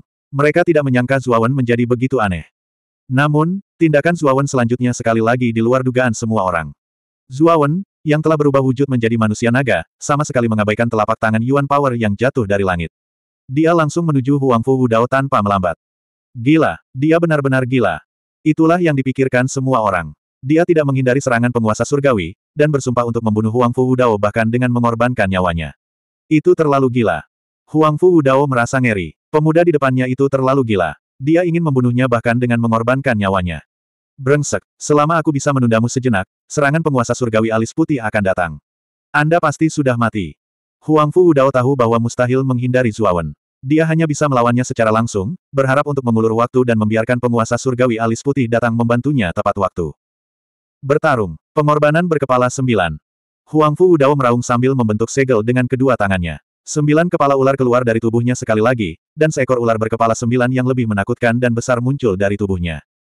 Di saat yang sama, Huang Fu Dao memuntahkan seteguk darah. Wajahnya sepucat salju. Jiwa lapis baja ular berkepala sembilan miliknya telah dihancurkan oleh Zuawan sebelumnya, dan mungkin butuh waktu lama baginya untuk pulih. Namun, Huang Fu Dao telah memanggil ular berkepala sembilan lagi, dan kali ini, ular berkepala sembilan itu jauh lebih menakutkan dari sebelumnya. Jelas sekali bahwa dia telah menggunakan semacam teknik rahasia, dan efek samping dari teknik rahasia ini kemungkinan besar sangat kuat. Mata emas gelap Zuawan dipenuhi dengan ketidakpedulian dan kekejaman. Dia menginjak kakinya dan tiba-tiba melompat. Setelah berubah menjadi wujud manusia naga, gerakan Zuawan jauh lebih lincah dan gesit, dan pikirannya jauh lebih tenang dan jernih dari sebelumnya. Istirahatlah untukku. Dengan raungan yang keras, ekor naga besar Zuawan terayun dari belakangnya, dan tekanan mengerikan mengalir keluar dari ekor naga tersebut. Itu adalah tekanan seekor naga, dan itu sangat menakutkan. Ular berkepala sembilan, yang awalnya memiliki ekspresi ganas, mengungkapkan sedikit ketakutan setelah merasakan tekanan naga. Ledakan. Ekor naga itu menghantam ular berkepala sembilan itu, menyebabkannya jatuh ke tanah. Kemudian, Zuawan melompat dan mendarat di tubuh ular berkepala sembilan itu. Tangannya yang bersisik naga tiba-tiba merogoh tubuh ular berkepala sembilan itu, lalu menariknya dengan kedua tangannya. Mengaum. Ular berkepala sembilan itu meratap dan langsung roboh dan dimusnahkan di bawah kekuatan yang menakutkan ini. Pada saat yang sama, Zuo Wen berubah menjadi bayangan hitam dan tiba di hadapan Huang Fu Dao, dan tangan kanannya tiba-tiba mengangkat Huang Fu Dao. Sebuah pukulan mendarat di perut bagian bawah Huang Fu Dao, dan kekuatan yang menakutkan meletus. Huang Fu Dao bahkan tidak sempat mengerang sebelum dia meledak menjadi awan kabut darah. Dalam wujud manusia naga, kekuatan Zuawan terlalu menakutkan. Dia hampir memiliki sebagian kekuatan dan kekuatan naga sejati. Kekuatan ini sangat kuat bagi seorang kultivator. Oleh karena itu, Huang Fu Dao meledak menjadi awan kabut darah di bawah pukulan Zuawan. Pada dasarnya tidak ada peluang untuk bertahan hidup. Ah, bajingan kecil, kamu benar-benar berani membunuh putra mahkota. Kamu sudah mati. Melihat Huang Fu Dao mati di hadapannya, wajah kemuliaan ilahi White Brow menjadi sangat muram. Matanya merah padam, dan amarahnya sangat besar. Gemuruh. Pada saat yang sama, telapak tangan energi asal yang menakutkan telah sepenuhnya sampai di atas kepala Zuawan. Kekuatan mengerikan itu hancur, dan itu sebenarnya dimaksudkan untuk memusnahkan Zuawan sepenuhnya. 847. Kabur dengan panik. Laut Darah Asura. Kuali matahari ilahi, bakar. Mata Zuawan berwarna emas gelap, dan ada sedikit kegilaan di matanya. Dengan lambaian tombak darah di tangannya, lautan darah yang menakutkan melonjak ke arah langit. Adapun kuali matahari ilahi yang mengambang di belakang Zuawan, ia melepaskan api matahari yang sangat menakutkan yang terus-menerus menyembur keluar, membentuk dinding api yang sangat kuat dan menakutkan di atas kepala Zuawan. Ledakan. Telapak tangan Yuan Power raksasa itu langsung roboh, menghantam lautan darah dan dinding api dengan keras. Setelah itu, gelombang udara berbentuk cincin yang mengerikan menyebar ke segala arah, membentuk kumpulan badai yang berputar-putar. Para prajurit di sekitarnya semuanya memperlihatkan ekspresi terkejut. Sebelum gelombang udara yang mengerikan itu tiba, mereka semua mundur ratusan meter jauhnya. Ledakan. Saat para prajurit ini pergi, gelombang udara menyebar, dan bangunan di sekitar jalan besar itu semuanya runtuh. Area dalam radius puluhan mil hampir menjadi ruang hampa. Hanya telapak tangan energi asal yang besar, lautan darah, dan dinding api yang menemui jalan buntu. Bang! Telapak energi asal hancur, tetapi Zuawan memuntahkan seteguk darah. Dengan lambaian tangan kanannya, dia menyimpan tombak darah dan kuali matahari ilahi ke dalam cincin rohnya. Mengikuti arah dia terbang mundur, dia membentangkan tiga pasang sayap petirnya, berubah menjadi sambaran petir, dan langsung meninggalkan tempat ini. Dia benar-benar memblokir serangan alis putih Empyrean. Orang ini sangat menakutkan. Melihat telapak tangan energi asal yang hancur, orang-orang di sekitarnya menghirup udara dingin. Alis putih Empyrean adalah pembangkit tenaga listrik Empyrean sejati, sementara Zuawan hanyalah pejuang puncak alam Suanzun. Secara logika, mustahil bagi seorang pejuang alam Suanzun untuk memblokir serangan pembangkit tenaga listrik alam Empyrean. Bahkan jika itu adalah serangan biasa, alam Suanzun tidak akan mampu memblokirnya. Namun, Zuawan telah melakukannya. Meski terluka, dia memang melakukannya. Bagaimana mungkin semua orang tidak kaget? Wajah pemuda di tengah kerumunan itu memerah, dan matanya dipenuhi kegembiraan dan gairah. Bakat muda seperti Zuawan adalah tipe jenius yang dia hormati. Dia jauh lebih kuat dari Zuawan, tetapi pada saat yang sama, dia sedikit khawatir. Penguasa langit White Brow terlalu kuat, dan dia tidak tahu apakah Zuawan dapat melarikan diri. Mencoba melarikan diri, apakah menurut Anda semudah itu? Lord White Brow dari Empire berteriak dengan marah. Dengan menghentakkan kakinya, dia berubah menjadi badai dan mengejar Zuawan. Brengsek, mengapa kecepatan Empyrean White Brow ini begitu cepat? Zuawan, yang telah membentangkan tiga pasang sayap petir dan kecepatannya melonjak hingga ekstrim, juga memperhatikan Tianzun yang beralis putih, yang terus-menerus mendekat di belakangnya. Jantungnya berdebar kencang. Saat dia melarikan diri, luka Zuawan dengan cepat sembuh dengan kemampuan regeneratif yang mengerikan dari hati Raja Hades. Dengan kemampuan regeneratif Zuawan saat ini, dia pada dasarnya akan dapat pulih dengan sangat cepat jika dia diberi waktu selama dia tidak melukai intinya. Namun, Empyrean Lord Whitebrow adalah seorang yang mulia surgawi. Meskipun sayap petir Zuawan diberkati secara alami dan kecepatannya sangat cepat, itu tidak cukup di hadapan yang mulia. Melihat Empyrean Lord Whitebrow terus-menerus mendekatinya, hati Zuawan tenggelam. Anak, biarkan aku meminjam sayap petirmu. Tiba-tiba, suara Xiao Hei terdengar di benak Zuawan. Selanjutnya, Zuawan terkejut saat mengetahui bahwa kabut hitam pekat telah muncul dari sela-sela alisnya dan menempel pada permukaan tiga pasang sayap petir. Ketika kabut hitam menghilang, ketiga pasang sayap petir telah berubah tanpa bisa dikenali. Mereka tidak lagi berwujud petir, melainkan telah menjadi tiga pasang sayap naga hitam. Terlebih lagi, tiga pasang sayap naga itu sangat besar. Ketika dibentangkan, panjangnya seratus kaki. Kepakan yang lembut bisa menyapu bersih badai yang mengerikan. Jagoan. Tiga pasang sayap naga tiba-tiba terbuka dan tertutup. Segera, kecepatan Zuawan meningkat lebih dari sepuluh kali lipat. Awalnya, ketika Empyrean Lord Whitebrow hendak mendekati Zuawan, dia terkejut saat mengetahui bahwa kecepatan Zuawan telah meningkat secara eksplosif pada suatu saat, meninggalkannya jauh di belakang. Dengan beberapa lompatan, dia menghilang dari pandangan Empyrean Lord Whitebrow. Jagoan. Di langit di atas jalan yang agak ramai, Empyrean Lord Whitebrow tiba-tiba turun ke udara. Dia melihat sekeliling dan ekspresinya menjadi lebih tidak sedap dipandang. Orang-orang di jalan juga menemukan Empyrean Lord Whitebrow yang turun, terutama aura menakutkan di tubuhnya, menyebabkan banyak prajurit bela diri di jalan mengungkapkan ekspresi ketakutan. Apakah kamu melihat prajurit bela diri dengan tiga sayap di punggungnya lewat di sini tadi? Ekspresi Empyrean Lord Whitebrow jelek ketika dia menatap orang-orang di jalan dan bertanya dengan dingin. Banyak prajurit bela diri di jalan menunjukkan keraguan. Banyak juga orang yang menggelengkan kepala. Jelas, mereka tidak melihat orang yang dibicarakan oleh Empyrean Lord Whitebrow. Jika kalian tidak mengetahuinya, maka kalian semua bisa masuk neraka juga. Empyrean Lord Whitebrow dengan dingin mendengus saat tangan kanannya tiba-tiba jatuh. Sejumlah besar energi unsur terkondensasi dan diubah menjadi telapak tangan besar setinggi ribuan kaki, menyelimuti seluruh jalan. Ledakan. Seluruh jalan langsung berubah menjadi reruntuhan oleh telapak energi unsur. Adapun banyak prajurit bela diri di jalan, mereka semua meledak menjadi awan kabut darah. Tidak satu pun dari mereka yang selamat. Melihat ke arah jalan yang telah berubah menjadi reruntuhan, Empyrean Lord Whitebrow sedikit mengernyit. Baru saja, dia merasakan Zuawan, yang kecepatannya tiba-tiba meningkat, telah menghilang di sini. Dia curiga Zuawan bersembunyi di jalan ini, itulah sebabnya dia dengan tegas menghancurkan seluruh jalan. Tujuannya adalah memaksa Zuawan keluar. Tentu saja, akan lebih baik jika dia bisa membunuhnya bersama-sama. Namun, yang membuat Empyrean Lord Whitebrow mengerutkan kening adalah bahwa para pejuang bela diri di jalan ini benar-benar dihancurkan olehnya tanpa perlawanan apa pun. Jelas sekali, Zuawan tidak berada di jalan ini. Jika tidak, dengan kecepatan Zuawan yang mengerikan, kemungkinan besar dia akan meninggalkan jalan sebelum menyerang. Ibu kota kekaisaran sangat besar, dan jalan-jalan di dalamnya saling bersilangan. Saat Empyrean Lord Whitebrow menghancurkan seluruh jalan, para prajurit bela diri di jalan-jalan sekitarnya berkumpul di sekitar reruntuhan jalan. Itu Empyrean Lord Whitebrow dari keluarga kekaisaran. Apa yang terjadi? Mengapa Empyrean Lord Whitebrow menghancurkan jalan ini tanpa membedakan mana yang benar dan salah? Para prajurit bela diri di sekitarnya semuanya memperlihatkan ekspresi marah. Pembunuhan tanpa pandang bulu yang dilakukan oleh Empyrean Lord Whitebrow terhadap orang tak bersalah jelas telah menimbulkan kemarahan publik. Namun, semua orang hanya berani marah tapi tidak berani berkata apa-apa. Empyrean Lord Whitebrow adalah pembangkit tenaga listrik Empyrean. Bagaimana mereka bisa menyinggung perasaannya? Bagaimanapun, dia kuat dan memiliki keluarga kekaisaran yang kuat di belakangnya. Mereka tidak berani mengkritiknya. Melihat dengan dingin ke arah prajurit bela diri di sekitarnya, Empyrean Lord Whitebrow mengeluarkan instruksi pikirannya yang kuat dalam sedetik. Dia ingin melihat apakah aura Zuawan tersembunyi di antara orang-orang di sekitarnya. Yang membuatnya kecewa adalah aura Zuawan sepertinya telah hilang sama sekali setelah memasuki jalan. Bahkan prajurit bela diri di sekitarnya tidak memiliki sedikit pun aura Zuawan. Anak nakal yang licik. Sambil mendengus dingin, Empyrean Lord Whitebrow menjentikkan lengan bajunya dan melangkah ke udara. Dia meninggalkan tempat ini dan menuju ibu kota kekaisaran. Dia perlu melaporkan apa yang terjadi di sini kepada Kaisar King. Setelah Empyrean Lord Whitebrow pergi, di antara kerumunan di sekitar reruntuhan, seorang pria parubaya biasa dengan kulit pucat menunjukkan senyuman. Pria parubaya ini adalah Zuawan, yang telah menggunakan seratus seni ilahi transformasi untuk mengubah penampilan dan auranya. Melihat sosok Empyrean Lord Whitebrow yang pergi, Mata Zuawan berkedip, dan dia juga diam-diam meninggalkan tempat ini. Aku benar-benar tidak menyangka akan ada ahli alam Empyrean di keluarga kekaisaran.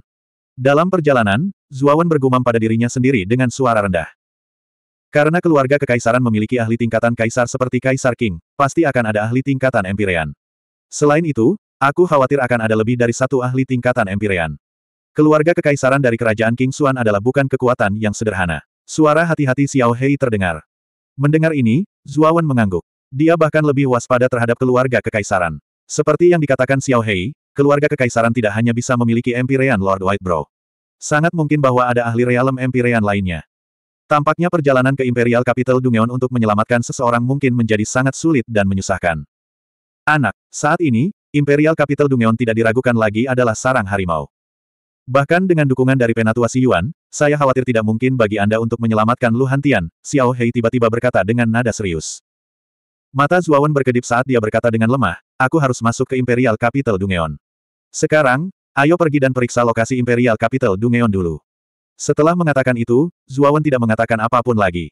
Sebaliknya, dia bergegas menuju barat laut ibu kota kekaisaran. Seperti yang tertulis di peta, ada gurun besar di barat laut ibu kota kekaisaran.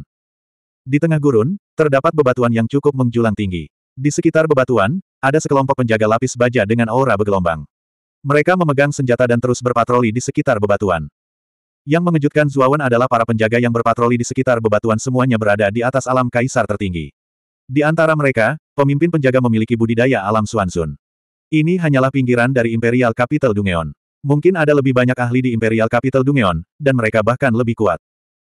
Setelah memeriksa sebentar lingkungan penjara ibu kota kekaisaran, tatapan Zuawan menjadi sangat serius. Dia menahan auranya dan diam-diam meninggalkan tempat itu. Setelah beberapa lompatan dan memastikan bahwa tidak ada yang mengikutinya, dia berbalik dan menuju paviliun musim semi mabuk. Setelah tiba di paviliun musim semi mabuk, Zuawan diam-diam memasuki halaman tempat Moyan Wuxiang berada. Ding! Suara sitar yang tajam tiba-tiba terdengar. Itu seperti gunung yang tinggi dan air yang mengalir, merembes ke seluruh halaman. Di paviliun di tengah halaman, Moyan Wuxiang sedang duduk di depan sitar sambil tersenyum, menatap Zuawan. Nona Wuxiang, Zuawan telah mengambil kebebasan untuk masuk tanpa izin kali ini. Zuawan menangkupkan tangannya dan datang ke depan Moyan Wuxiang. Ekspresinya agak bersalah. Moyan Wuxiang menggelengkan kepalanya dan berkata, Tuan Muda Zuo terlalu serius. Kali ini, kamu pasti datang ke Imperial Capital Dungeon kan? Mengangguk, Zuawan tidak bertele-tele. Sebaliknya, dia berkata dengan lugas, saya tidak meminta Nona Wuxiang untuk membantu saya menyelamatkan orang. Saya hanya berharap Nona Wuxiang dapat memberitahu saya satu atau dua hal tentang kekuatan sebenarnya dari ibu kota kekaisaran. Selain Kaisar King, ada ahli lainnya. Di ibu kota kekaisaran. Moyan Wuxiang mendengar ini dan mengangkat alisnya. Dia tersenyum dan berkata, sepertinya kamu bukan orang yang gegabah. Saya meminta Nona Wuxiang untuk memberitahu saya satu atau dua hal. Zuawan berkata dengan serius. Saya secara alami akan memberitahu Anda tentang masalah ini, tetapi pertama-tama kita harus pergi ke penginapan tempat Anda dan penatua si Yuan menginap. Moyan Wuxiang tiba-tiba berkata. Zuawan tercengang. Dia tidak mengerti maksud kata-kata Moyan Wuxiang. Dia berseru, Nona Wuxiang, apa maksudmu? Tentu saja aku ingin pergi bersamamu untuk menyelamatkan orang. Dengan kekuatanmu saat ini, bukankah menyelamatkan orang berarti membuatmu mati? Jika kamu mati, kakak perempuan Chen Sui akan sedih sampai mati. 848. Pil emas sembilan lubang. Zuawan membawa Moyan Wuxiang dan meninggalkan paviliun mata air mabuk dengan tenang. Setelah beberapa saat, mereka berdua tiba di penginapan yang dipesan Zuawan. Berderak. Pintunya perlahan ditutup. Di ruangan besar itu, hanya penatua Yuan yang duduk di samping meja teh, diam-diam menyeruput tehnya. Suara pintu terbuka secara alami menarik perhatian penatua Yuan. Dia tampak sedikit waspada. Namun, ketika dia melihat bahwa itu adalah Zuawan, ekspresi penatua Yuan melembut. Dia memandang Moyan Wuxiang, yang berada di samping Zuawan, dengan curiga. Zuo Xiaoyou, apakah kamu terluka? Apakah terjadi sesuatu dalam perjalananmu menuju penjara bawah tanah kota kekaisaran? Penatua Yuan memandang Zuawan dan bertanya dengan prihatin. Zuawan menggelengkan kepalanya dan berkata, itu hanya cedera kecil. Ini bukan masalah besar. Penatua Yuan, izinkan saya memperkenalkan Anda. Ini Nona Moyan Wuxiang. Dia akan membantuku menyelamatkan orang-orang di penjara kota kekaisaran. Oh, itu Nona Moyan Wuxiang. Penatua Yuan memandang Moyan Wuxiang dengan tatapan aneh di matanya. Setelah merenung sejenak, dia tersenyum dan menangkupkan kedua tangannya. Saya sudah lama mendengar nama Penatua Yuan. Namun, saya belum pernah bertemu Anda sebelumnya. Sekarang setelah saya bertemu dengan Anda, Anda memang luar biasa. Pantas saja kamu bisa bertarung dengan Kaisar King saat itu, kata Moyan Wuxiang sambil tersenyum. Penatua Yuan melambaikan tangannya dan berkata, Nona Wuxiang, Anda melebih-lebihkan. Saat itu, Kaisar King sengaja menahan diri. Anda tidak bisa menganggapnya serius. Kalau kita memang ingin membandingkan, saya tidak sebaik Anda, Nona Wuxiang. Mata indah Moyan Wuxiang sedikit menyipit. Tiba-tiba, dia tersenyum dan berkata, Elder Yuan, Anda pasti bercanda. Bagaimana saya bisa dibandingkan dengan Anda? Mari kita bahas masalah penyelamatan manusia terlebih dahulu. Penatua Yuan menatap Moyan Wuxiang dalam-dalam dan mengangguk. Dia berkata, Nona Wuxiang benar. Mari kita bahas masalah penyelamatan orang dulu. Melihat percakapan aneh antara Moyan Wuxiang dan Penatua Si Yuan, Zuawan menyipitkan matanya. Tampaknya Penatua Si Yuan mengetahui sesuatu tentang identitas Moyan Wuxiang. Dan melihat Penatua Si Yuan, Moyan Wusang bukan hanya seorang siswa sederhana di Universitas Jiasen. Bagaimanapun, Mu Chengsui adalah orang suci dari Sekte Surga Terbakar. Dan Moyan Wusang tampaknya memiliki hubungan yang baik dengan Mu Chengsui. Dia tahu bahwa identitas Moyan Wusang jelas tidak biasa. Namun, Zuawan tidak memikirkan identitas Moyan Wuxiang.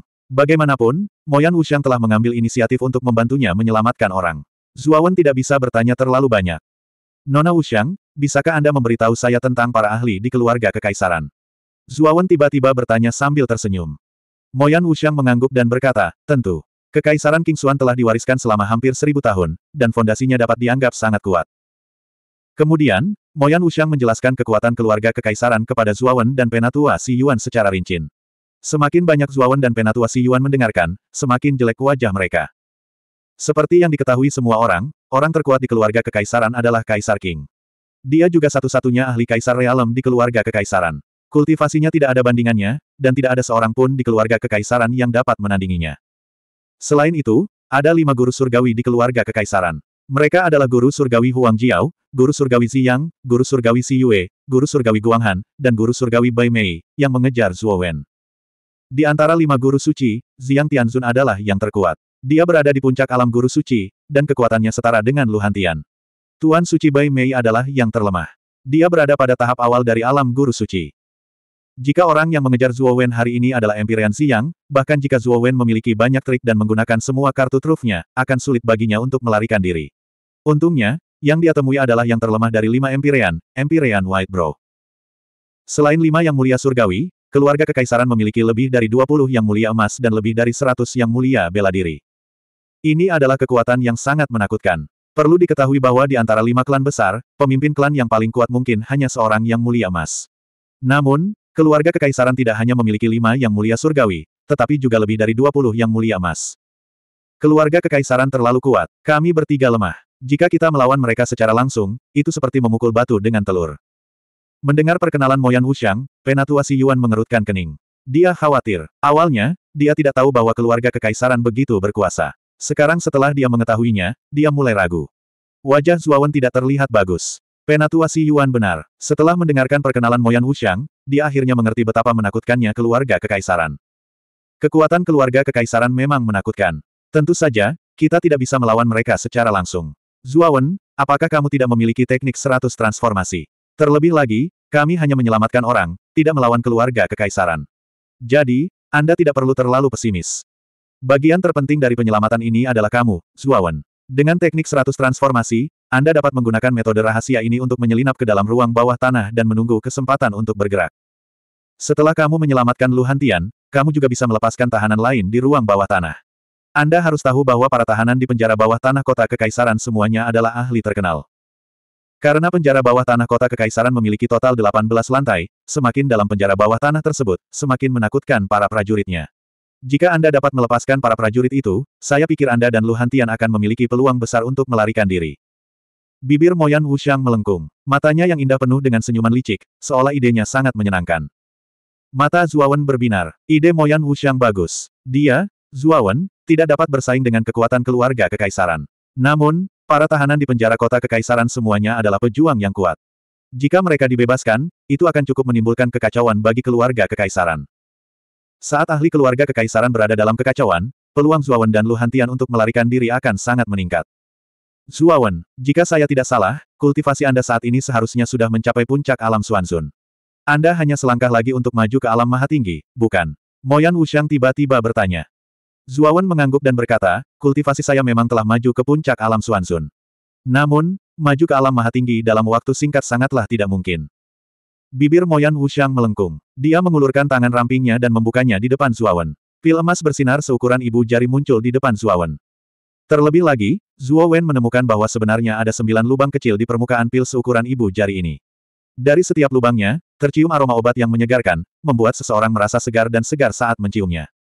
Ini adalah pil emas sembilan lubang. Ini dapat membantu Anda menerobos belenggu alam dalam waktu singkat. Suara jelas Moyan Wuxiang perlahan terdengar. Pil emas sembilan lubang. Ini sebenarnya dapat membantu saya menerobos belenggu dunia dalam waktu singkat. Ini sebenarnya sangat ajaib. Melihat pil emas di telapak tangan Moyan Wuxiang, mata Zuawan menunjukkan sedikit keterkejutan. Secara umum, pil dan ramuan yang dapat membantu orang menerobos sangatlah berharga dan langka. Masing-masing dari mereka sangat berharga. Pil emas sembilan lubang ini dapat membantu para ahli alam Xuanzun menerobos belenggu alam. Nilainya bahkan lebih berharga. Untuk sesaat, Zuawan sedikit ragu. Moyan Wuxiang terkekeh dan berkata, pil emas sembilan lubang ini bukan milikku. Pil ini diberikan kepadaku oleh kakak perempuan Chen Sui untuk diamankan.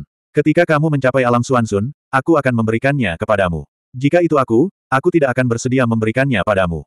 Oh, itu diberikan kepadamu oleh Chen Sui. Pupil Zuawan menyusut, tetapi hatinya tergerak. Mu Cheng Sui telah melakukan cukup banyak hal untuknya, tetapi dia, Zuawan, tidak pernah melakukan sesuatu yang berguna untuk Mu Cheng Sui. Terlebih lagi, karena racun dingin di tubuh Mu Cheng Sui, dia hanya punya waktu tiga tahun lagi untuk hidup. Dalam tiga tahun ini, Zuawan harus mengandalkan seni peleburan api agar berhasil memadukan api surgawi. Ini adalah satu-satunya hal yang dapat dilakukan Zuawan untuk Mu Cheng Sui. Tanpa ragu-ragu, Zuawan mengambil pil emas sembilan lubang dari tangan Moyan Wuxiang dan diam-diam memasukkannya ke dalam cincin spiritualnya. Tidak perlu terburu-buru menyelamatkan orang. Zuawan, Anda sekarang memiliki pil emas sembilan lubang. Mengandalkan pil emas sembilan lubang ini, Anda dapat menerobos ke alam tertinggi dalam waktu singkat. Setelah Anda menerobos, Anda akan lebih percaya diri dalam menyelamatkan orang. Kata Moyan Wuxiang sambil tersenyum. Zuawan mengangguk dan berkata, kalau begitu saya harus berterima kasih kepada Nona Wuxiang. Setelah itu, Zuawan, Penatua Yuan, dan Moyan Wuxiang berdiskusi sebentar sebelum mereka bertiga kembali ke kamar masing-masing. Setelah kembali ke kamarnya, Zuawan diam-diam duduk bersila di kasur di kamarnya. Setelah menghabiskan beberapa waktu untuk menenangkan auranya, dia menjentikkan jarinya dan mengeluarkan pil emas sembilan lubang dari cincin spiritualnya. Pil emas sembilan lubang memang ajaib. Sembilan lubang di permukaannya terus-menerus menghirup dan menghembuskan udara, seolah-olah seseorang menghirup udara melalui lubang hidungnya. Saya harap pil emas sembilan lubang ini dapat membantu saya menerobos. Dengan mata berbinar, Zuawan tidak lagi menahan diri dan langsung menghancurkan pil emas sembilan lubang. Tiba-tiba, kekuatan obat emas memenuhi udara. Setelah itu, Zuawan membuka semua lubang utama di tubuhnya dan kekuatan menelan muncul, menyerap semua kekuatan obat ke dalam tubuhnya. Ledakan. Suara gemuruh terdengar. Mata Zuawan sedikit menyipit, tapi hatinya tergerak. Pil emas sembilan lubang memang ajaib. Kekuatan obatnya begitu kuat bahkan dia sedikit terkejut. Setelah menstabilkan pikirannya, Zuawan berhenti memikirkan hal-hal acak. Dia menutup matanya dan mulai memurnikan kekuatan obat yang telah diserap oleh lubang di tubuhnya secara diam-diam. Saat Zuowen diam-diam menyempurnakan efek obat untuk menerobos, kota kekaisaran berada dalam kekacauan. Rumor tentang pangeran pertama Huang Fu Dao dan pengawal istana yang dimusnahkan seluruhnya mulai menyebar ke seluruh kota kekaisaran. Itu adalah keriuhan, dan tidak ada habisnya. Di ruang singgah sana, Kaisar King berdiri diam di tengah aula utama. Di belakangnya berdiri lima sosok. Salah satu dari lima sosok itu memiliki rambut hitam putih panjang dan alis seputih salju. Itu adalah alis putih guru surgawi, yang mengejar Zuawan. Empat lainnya adalah empat guru surgawi lainnya dari keluarga kekaisaran. Pada saat ini, alis putih penguasa langit berlutut dengan satu kaki di belakang Kaisar King. Dahinya dipenuhi butiran keringat halus. Tangan kanannya, yang menopangnya di tanah, sedikit gemetar. Itu menunjukkan bahwa alis putih penguasa langit merasa gugup pada saat ini. Wu Dao telah terbunuh. Selanjutnya, dia dibunuh oleh seorang junior yang juga berada di Mistik Venera Tereng. Siapa juniornya? Punggung Kaisar King masih menghadap lima guru surgawi, tetapi suaranya perlahan menjadi dingin. 849. Alam berdaulat. Seorang jenius yang lebih tua dari Wudao. Terlebih lagi, dia tidak pamer di masa lalu. Kaisar King menyipitkan matanya saat dia bergumam pada dirinya sendiri. Jejak kecurigaan muncul di hatinya. Dia curiga orang yang membunuh Huang Fu Wudao dan pengawal istana adalah Zuawan. Meskipun penampilan pemuda yang digambarkan oleh kemuliaan ilahi Bai Mei sama sekali berbeda dari Zuawan, Kaisar King tahu bahwa jika kekaisaran King Xuan benar-benar memiliki kejeniusan yang menakutkan, mustahil baginya untuk tidak mengetahuinya. Ditambah dengan apa yang Aoki katakan sebelumnya tentang jejak Zuawan di Kabupaten Mukin, Kaisar King semakin yakin bahwa pemuda dengan tombak berdarah itu adalah Zuawan. Dia tumbuh sangat cepat. Dia bahkan bisa membunuh yang mulia emas seperti Li Jin. Zuawan pasti mendapatkan semacam rahasia di pembuluh darah naga. Saya harus menangkapnya. Mata Kaisar King berbinar-binar saat dia berpikir sendiri. Kemuliaan surgawi beralis putih agak gelisah. Dia menatap Kaisar Azure dengan terkejut dan ragu dan berkata dengan lembut, Yang mulia, mengapa saya tidak memimpin pasukan kekaisaran untuk menggeledah seluruh ibu kota kekaisaran? Saya bersumpah akan menangkap pemuda terkutuk itu. Kaisar King menggelengkan kepalanya dan berkata, tidak perlu. Jika saya tidak salah, pemuda dengan tombak berdarah itu seharusnya adalah Zuawan yang kita cari. Mata yang mulia Bai Mei dan empat mata yang mulia surgawi lainnya berkedip-kedip saat mereka menunjukkan tatapan aneh. Mereka tentu pernah mendengar tentang Zuawan. Itu karena Kaisar Qian memanggil mereka demi generasi muda bernama Zuowen.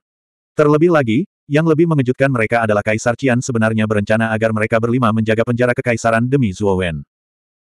Hanya untuk seorang junior, lima yang mulia surgawi sebenarnya harus menjaga ruang bawah tanah kota kekaisaran pada saat yang sama. Pada awalnya, mereka mengira Kaisar King sedang membuat gunung dari sarang tikus mondok. Sekarang, mereka menyadari bahwa Zuawan memang cukup mampu karena dia sebenarnya telah melarikan diri dari Yang Mulia Bai Mei. Meski begitu, mereka tidak terlalu peduli dengan Zuawan. Bagaimanapun juga, kemuliaan ilahi White Brow telah mampu membuat Zuawan berada dalam kondisi yang menyedihkan. Terlebih lagi, kemuliaan ilahi White Brow adalah yang terlemah di antara lima kemuliaan ilahi. Oleh karena itu, memang agak berlebihan jika mereka berlima berjaga bersama. Jangan meremehkan Zuawan itu. Menurut uraian Empyrean Whitebrow, bahwa Zuawan mungkin memiliki teknik rahasia yang dapat mengubah penampilan dan auranya, jadi kita tidak boleh gegabah. Dan Pangeran Aoki juga berencana mengundang dua tetua agung Aula Naga Biru untuk menjaga penjara bawah tanah kota kekaisaran bersama kalian berlima. Kali ini, setelah Zuawan masuk ke dalam perangkap, kita harus menangkapnya sepenuhnya. Tapi ingat, kamu harus menangkapnya hidup-hidup. Jika ada di antara kalian yang membunuh Zuawan, kalian akan dikuburkan bersamanya. Saat ini, suara Kaisar King menjadi sangat dingin. Tekanan mengerikan mengalir keluar dari tubuhnya, menyebabkan wajah lima yang mulia surgawi sedikit berubah. Pada saat ini, lima yang mulia surgawi benar-benar terkejut. Bahkan ketua Aula-Aula Naga Biru, Aoki, dan kedua tetua agung sebenarnya ingin menjaga penjara bawah tanah kota kekaisaran bersama mereka. Delapan yang mulia surgawi bergabung untuk menjaga penjara bawah tanah kota kekaisaran hanya untuk seorang junior yang budidayanya hanya di alam Suansun. Bukankah ini terlalu menakutkan? Terutama ketika mereka merasakan rasa dingin yang samar-samar terlihat dan kuat dari Kaisar Azure, kelima yang mulia semuanya memiliki ekspresi serius. Mereka benar-benar dapat merasakan bahwa Kaisar Azure menilai Zuo Wen jauh melebihi harapan mereka. Jangan khawatir, Yang Mulia. Dengan kami delapan Yang Mulia Surgawi di sini, bahkan jika seekor lalat memasuki penjara bawah tanah kota kekaisaran, kami dapat membuatnya tidak dapat kembali, apalagi Zuawan, kata lima Yang Mulia Surgawi dengan hati-hati. Ya, kalian pergi ke penjara bawah tanah kota kekaisaran dulu. Zuawan mungkin akan segera menerima kabar bahwa Lu Hantian di penjara di penjara bawah tanah. Tidak akan lama lagi dia akan masuk ke dalam perangkap, Kaisar King mengangguk dan berkata sambil melambaikan lengan bajunya. Kelima yang mulia surgawi dengan penuh hormat menangkupkan tangan mereka dan membungkuk. Segera setelah itu, mereka perlahan meninggalkan aula. Segera, hanya sosok Kaisar King yang tersisa di aula. Kaisar King berdiri diam di aula dengan tatapan yang dalam. Tidak ada yang tahu apa yang dia pikirkan saat ini. Huang Fu Wudao adalah penerus berikutnya yang dipromosikan secara pribadi oleh Kaisar King. Kaisar King telah melatih Huang Fu Wudao dengan sangat hati-hati, sementara Li Jin dan pengawal istana adalah pengawal pribadinya. Itu adalah tangan kiri dan kanannya yang biasa. Namun, mata Kaisar King tidak menunjukkan sedikit pun kemarahan ketika dia mendengar bahwa Huang Fu Wudao dan pengawal istana telah dibunuh oleh Zuawan. Dengan kata lain, Kaisar King tidak peduli sama sekali. Zuawan, Anda tidak akan bisa melarikan diri. Entah itu jiwa naga di tubuhmu atau rahasia pembuluh darah naga, kamu akan memuntahkan semuanya. Suara acuh tak acuh terdengar di aula. Segera setelah itu, sosok Kaisar King menghilang ke dalam bayang-bayang aula. Kaisar King dengan jelas mengetahui bahwa penjara bawah tanah kota kekaisaran, yang dijaga oleh delapan yang mulia surgawi, bagaikan parit kedap udara. Tidak peduli siapa yang masuk ke penjara bawah tanah, mustahil untuk melarikan diri. Dia sangat yakin bahwa Zuawan pasti akan melebih-lebihkan dirinya sendiri dan membobol penjara bawah tanah kota kekaisaran demi Luhantian. Sekalipun itu adalah jebakan yang dibuat Kaisar King untuknya, Zuawan tetap akan mempertaruhkan nyawanya dan jatuh ke dalamnya. Ini karena dia tahu dengan jelas bahwa terlepas dari apakah itu Zuawan atau Lu Hantian, mereka berdua adalah orang yang menghargai hubungan. Karena mereka adalah orang-orang yang menghargai hubungan, mereka memiliki kelemahan. Jika dia bisa memahami kelemahan ini, dia, Kaisar King, akan berada dalam posisi yang tak terkalahkan. Tiga hari berlalu dengan cepat. Saat sinar matahari pertama menyinari pagi hari ketiga, Zuawan yang sedang duduk bersila di atas sajadah, perlahan membuka matanya. Ledakan. Suara seperti guntur keluar dari tubuhnya. Aura yang sangat menakutkan menyebar dan menyapu seluruh ruangan. Ini sebenarnya menyebabkan pusaran yang tak terhitung jumlahnya muncul dan memenuhi seluruh ruang. Saat ini, mata Zuawan bersinar seperti bintang di langit malam. Ada kegembiraan yang luar biasa dalam diri mereka. Saya telah menerobos. Saya akhirnya berhasil menerobos dari puncak alam Suanzun ke alam berdaulat. Perlahan bangkit, Zuawan meregangkan otot dan tulangnya. Dia dapat dengan jelas merasakan bahwa kekuatan di tubuhnya menjadi lebih kuat. Setelah maju ke alam berdaulat, kekuatan Zuawan telah meningkat setidaknya beberapa kali lipat. Jika dia bertemu dengan Yang Mulia Alis Putih lagi, meskipun dia tetap bukan tandingannya, setidaknya Zuawan tidak akan dikejar oleh Yang Mulia Alis Putih seperti terakhir kali. Setelah membuka pintu, Zuawan memanggil Penatua Si Yuan dan Moyan Wuxiang, yang tinggal di dua kamar lainnya, keluar. Penatua Si Yuan dan Moyan Wuxiang terkejut karena Zuawan berhasil menerobos begitu cepat. Namun, mereka tidak terlalu terkejut. Mereka telah melihat bakat Zuawan. Selain itu, Zuawan adalah keturunan Ryuka yang memiliki jiwa naga. Dia memiliki bakat yang unik dan kuat. Oleh karena itu, mereka merasa masuk akal jika Zuawan maju.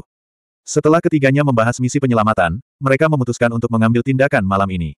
Rencananya sangat sederhana. Itu berarti membiarkan Zuawan menjadi garda depan dan menyelinap ke penjara bawah tanah kota kekaisaran untuk menunggu kesempatan untuk mengambil tindakan. Setelah mengacaukan situasi di penjara kota kekaisaran, mereka akan memanfaatkan kekacauan tersebut untuk menyelamatkan Lu Hantian dan Moyan Wuxiang. Penatua Yuan dan Moyan Wuxiang akan menunggu di luar ruang bawah tanah. Usai berdiskusi, mereka bertiga kembali melakukan persiapan menghadapi misi penyelamatan malam ini. Sehari berlalu dengan cepat. Malam perlahan turun. Tanah yang semula bersinar terang kini diselimuti kegelapan. Hanya bintang yang berkelap-kelip yang memberikan cahaya lemah. Derai-derai ketipak. Hujan turun perlahan dari langit. Itu menjadi semakin berat. Suara hujan seperti guntur, bergema di seluruh negeri. Itu sangat hebat. Swosh swosh swosh. Di malam yang lebat dan hujan ini, tiga sosok yang diam terbang menuju barat laut ibu kota kekaisaran. Gerakan mereka sangat ringan dan hati-hati. Ke mana pun mereka lewat, mereka sama sekali tidak menarik perhatian siapa pun. Segera, ketiga sosok itu tiba di gurun di barat laut. Mereka bertiga diam-diam meringkuk di semak belukar beberapa puluh meter dari gunung palsu di tengah gurun. Mereka menatap gunung palsu yang jaraknya beberapa puluh kilometer. Saat ini, hujan sedang turun deras dan suara hujan terdengar di mana-mana. Namun, di luar gurun, masih ada sekelompok tentara berbaju besi. Mereka berpatroli tanpa kenal lelah dan sama sekali tidak terpengaruh oleh suara hujan. Tiga orang yang bersembunyi di semak-semak secara alami adalah Zuawan, Penatua Yuan dan Moyan Wuxiang. Saat ini, mereka bertiga tampak bermartabat. Mereka dapat dengan jelas merasakan bahwa keamanan di sekitar gurun jauh lebih ketat dari biasanya. Zuawan, penjara bawah tanah kota kekaisaran sekarang dijaga ketat. Jika kamu ingin menyelinap masuk, aku khawatir ini akan jauh lebih sulit dari biasanya. Kata Penatua Yuan dengan ekspresi bermartabat. Zuawan juga sudah menduga masalah ini. Dia berkata kepada Penatua Yuan, jika Anda ingin menyelinap masuk, Anda harus menyamar sebagai salah satu tentara yang berpatroli. Saya khawatir prajurit biasa tidak memenuhi syarat untuk memasuki ruang bawah tanah. Jika Anda ingin menyamar, Anda harus menyamar sebagai komandan prajurit. Penatua Yuan merenung sejenak dan melanjutkan, saya akan mengikuti Anda ke gurun. Mari kita tangkap komandan prajurit terlebih dahulu. Zuawan mengangguk dan diam-diam berjalan menuju gurun bersama Penatua Yuan. Dengan budidaya mereka, sangatlah mudah bagi mereka untuk tidak menarik perhatian tentara yang berpatroli di sekitar gurun. Setelah beberapa saat, mereka berdua bersembunyi di sudut gelap di sekitar gurun ketika tentara yang berpatroli tidak memperhatikan. Karena saat itu malam hujan dan sudut yang mereka berdua pilih sangat terpencil, itu seperti titik buta. Para prajurit yang lewat tidak dapat melihat mereka berdua bersembunyi di pojok. Tadi, saya menggunakan kekuatan mental saya untuk memeriksa. Total ada 20 tentara patroli yang tersebar di sekitar gurun. Jarak antar tim adalah 30 meter. Yang perlu kita lakukan sekarang adalah menunggu kesempatan terbaik. Penatua Yuan berkata kepada Zuawan melalui telepati. Zuawan mengangguk. Keduanya berdiri di sudut gurun dan menunggu dalam diam. Setelah beberapa saat, sebuah tim perlahan melewati sudut tempat Zuawan dan Penatua Yuan berada. Ding dong. Suara batu yang jatuh ke tanah tiba-tiba terdengar, menyebabkan tim terhenti. Segera, pemimpin tim menyipitkan matanya dan diam-diam menatap ke sudut tempat suara itu berasal. Siapa di sana? Pemimpin tentara itu bertanya dengan dingin. 850. Ke dalam penjara bawah tanah. Mata komandan prajurit itu penuh kesungguhan saat dia berjingkat ke sudut gelap. Saat dia melangkah ke dalam kegelapan, matanya menjadi kabur dan dia membeku di tempat. Setelah ini, kekuatan besar datang dan sebuah tangan menariknya masuk. Kemudian, tangan itu menutup mulut prajurit itu tanpa ragu-ragu. Dengan sedikit suara retak, prajurit itu meninggal dengan mengenaskan. Di sudut yang gelap, Zuawan dan Penatua Si Yuan saling memandang. Kemudian, Zuawan dengan cepat melepas baju besi pemimpinnya dan mengenakannya pada dirinya sendiri. Setelah mengenakan seragam pemimpin tentara, wajah Zuawan tiba-tiba menggeliat dan berubah. Pada akhirnya, dia mengambil penampilan sebagai pemimpin tentara, dan auranya hampir identik dengan yang terakhir. Di luar gunung palsu, para prajurit yang awalnya berdiri di tempat semuanya sedikit mengernyit. Pemimpin mereka sudah berada dalam bayang-bayang gunung palsu selama beberapa waktu, tapi dia masih belum keluar. Mungkinkah sesuatu telah terjadi? Kenapa pemimpinnya belum keluar? Ayo pergi dan lihat. Prajurit di depan sedikit mengernyit dan berkata kepada tim di belakangnya. Setelah mendapat persetujuan dari kelompok tersebut, para prajurit perlahan mendekati bayangan di sudut. Ekspresi mereka menjadi sangat waspada. Pemimpin mereka sudah lama berada di sana dan masih belum keluar. Sesuatu pasti telah terjadi. Oleh karena itu, para prajurit ini menjadi sangat waspada. Jika ada masalah, mereka tidak akan bersikap lunak. Saat mereka hendak mendekati bayangan di sudut, sesosok tubuh perlahan keluar, menyebabkan banyak prajurit menjadi gugup. Prajurit yang memimpin bahkan dengan dingin berteriak, siapa itu? Ini aku. Jangan bilang kamu bahkan tidak bisa mengenaliku. Bukankah aku sudah bilang padamu untuk tetap diam dan menunggu? Kenapa kalian semua ada di sini? Suara dingin dan acuh tak acuh terdengar. Segera setelah itu, sosok ini akhirnya muncul di depan para prajurit. Bukankah ini pemimpin yang menyelidiki bayangan di sudut ini? Jadi itu Tuan Ketua. Baru saja, kami melihat Anda sudah lama tidak keluar, jadi kami mengkhawatirkan keselamatan Anda dan berinisiatif untuk datang dan memeriksa. Apa yang Anda temukan di dalam, Pak? Prajurit yang memimpin buru-buru bertanya. Pemimpin prajurit itu mengangguk dan berkata dengan lemah, saya tidak menemukan apa pun. Orang yang membuat suara itu pastilah seekor kelinci licik yang secara tidak sengaja melewati bebatuan. Selain itu, tidak ada kelainan lain. Ketika tentara lain mendengar ini, mereka semua mengangguk, tapi mereka agak bingung. Namun, Orang di depan mereka adalah pemimpin mereka, jadi mereka tidak bertanya terlalu banyak. Ayo pergi. Anda semua terus berpatroli. Saya harus pergi ke Dungeon, pemimpin prajurit itu melambaikan tangannya dan berkata kepada sekelompok prajurit. Kelompok itu tidak mencurigai apa pun. Dan tentara biasa hanya bisa berpatroli di sekitar. Adalah satu-satunya yang bisa memasuki Dungeon. Itu adalah pemimpin prajurit Dungeon. Dan penjara bawah tanah. Penjara bawah tanah. Penjara bawah tanah. Adalah Dungeon. Dungeon Dungeon Studio-studio seni-seni. Dungeon Master Studio dari Dungeon adalah Art Studio Studio Studio Studio Dungeon Studio Studio Dungeon Studio. Dungeon Dungeon Duns. I. Sol Sol Studio Studio, Sol Dungeon Dungeon Sol, Sol, Sol Sol Dun Sol Dun. Adalah, Dungeon, Sol, jiwa-jiwa. Dari ingatan pemimpin tentara, Zuawan memiliki pemahaman yang cukup baik tentang lantai pertama penjara bawah tanah. Selain itu, adalah hal biasa bagi orang seperti dia untuk meminta memasuki ruang bawah tanah. Bagaimanapun juga, pemimpin prajurit juga seorang manusia dan pasti ada saatnya dia lelah. Setiap kali ini terjadi, pemimpin prajurit akan memerintahkan prajurit di bawahnya untuk terus berpatroli sementara mereka memasuki lantai pertama penjara bawah tanah untuk tidur siang. Mengikuti ingatannya, Zuawan dengan cepat sampai di pintu masuk ruang bawah tanah. Penjaga di pintu masuk memandang Zuawan dengan acuh tak acuh, mengangguk, dan membiarkan Zuawan masuk. Setelah memasuki pintu masuk, yang muncul di depan Zuawan adalah lorong yang agak dalam. Di kedua sisi lorong, ada deretan obor yang menyala. Berjalan perlahan di koridor, Zuawan berusaha sekuat tenaga untuk tampil tenang dan acuh tak acuh. Untungnya, pemimpin prajurit yang disamarkan oleh Zuawan adalah orang yang tidak suka banyak bicara. Oleh karena itu, hubungannya dengan pemimpin lainnya tidak terlalu baik.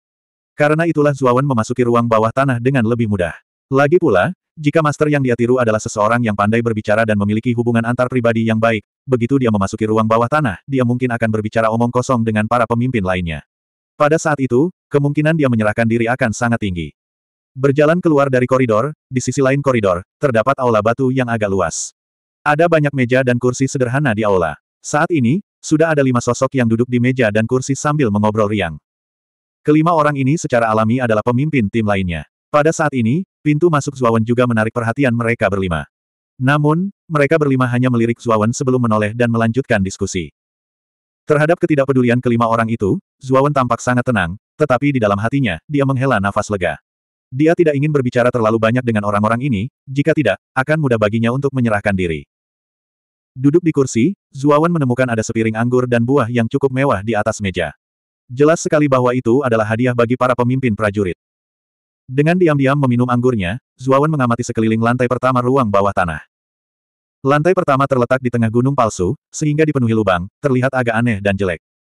Di permukaan lubang tersebut terdapat deretan pagar besi. Dengan penglihatan Zuawan saat ini, dia dapat melihat ada banyak sosok di dalam pagar besi.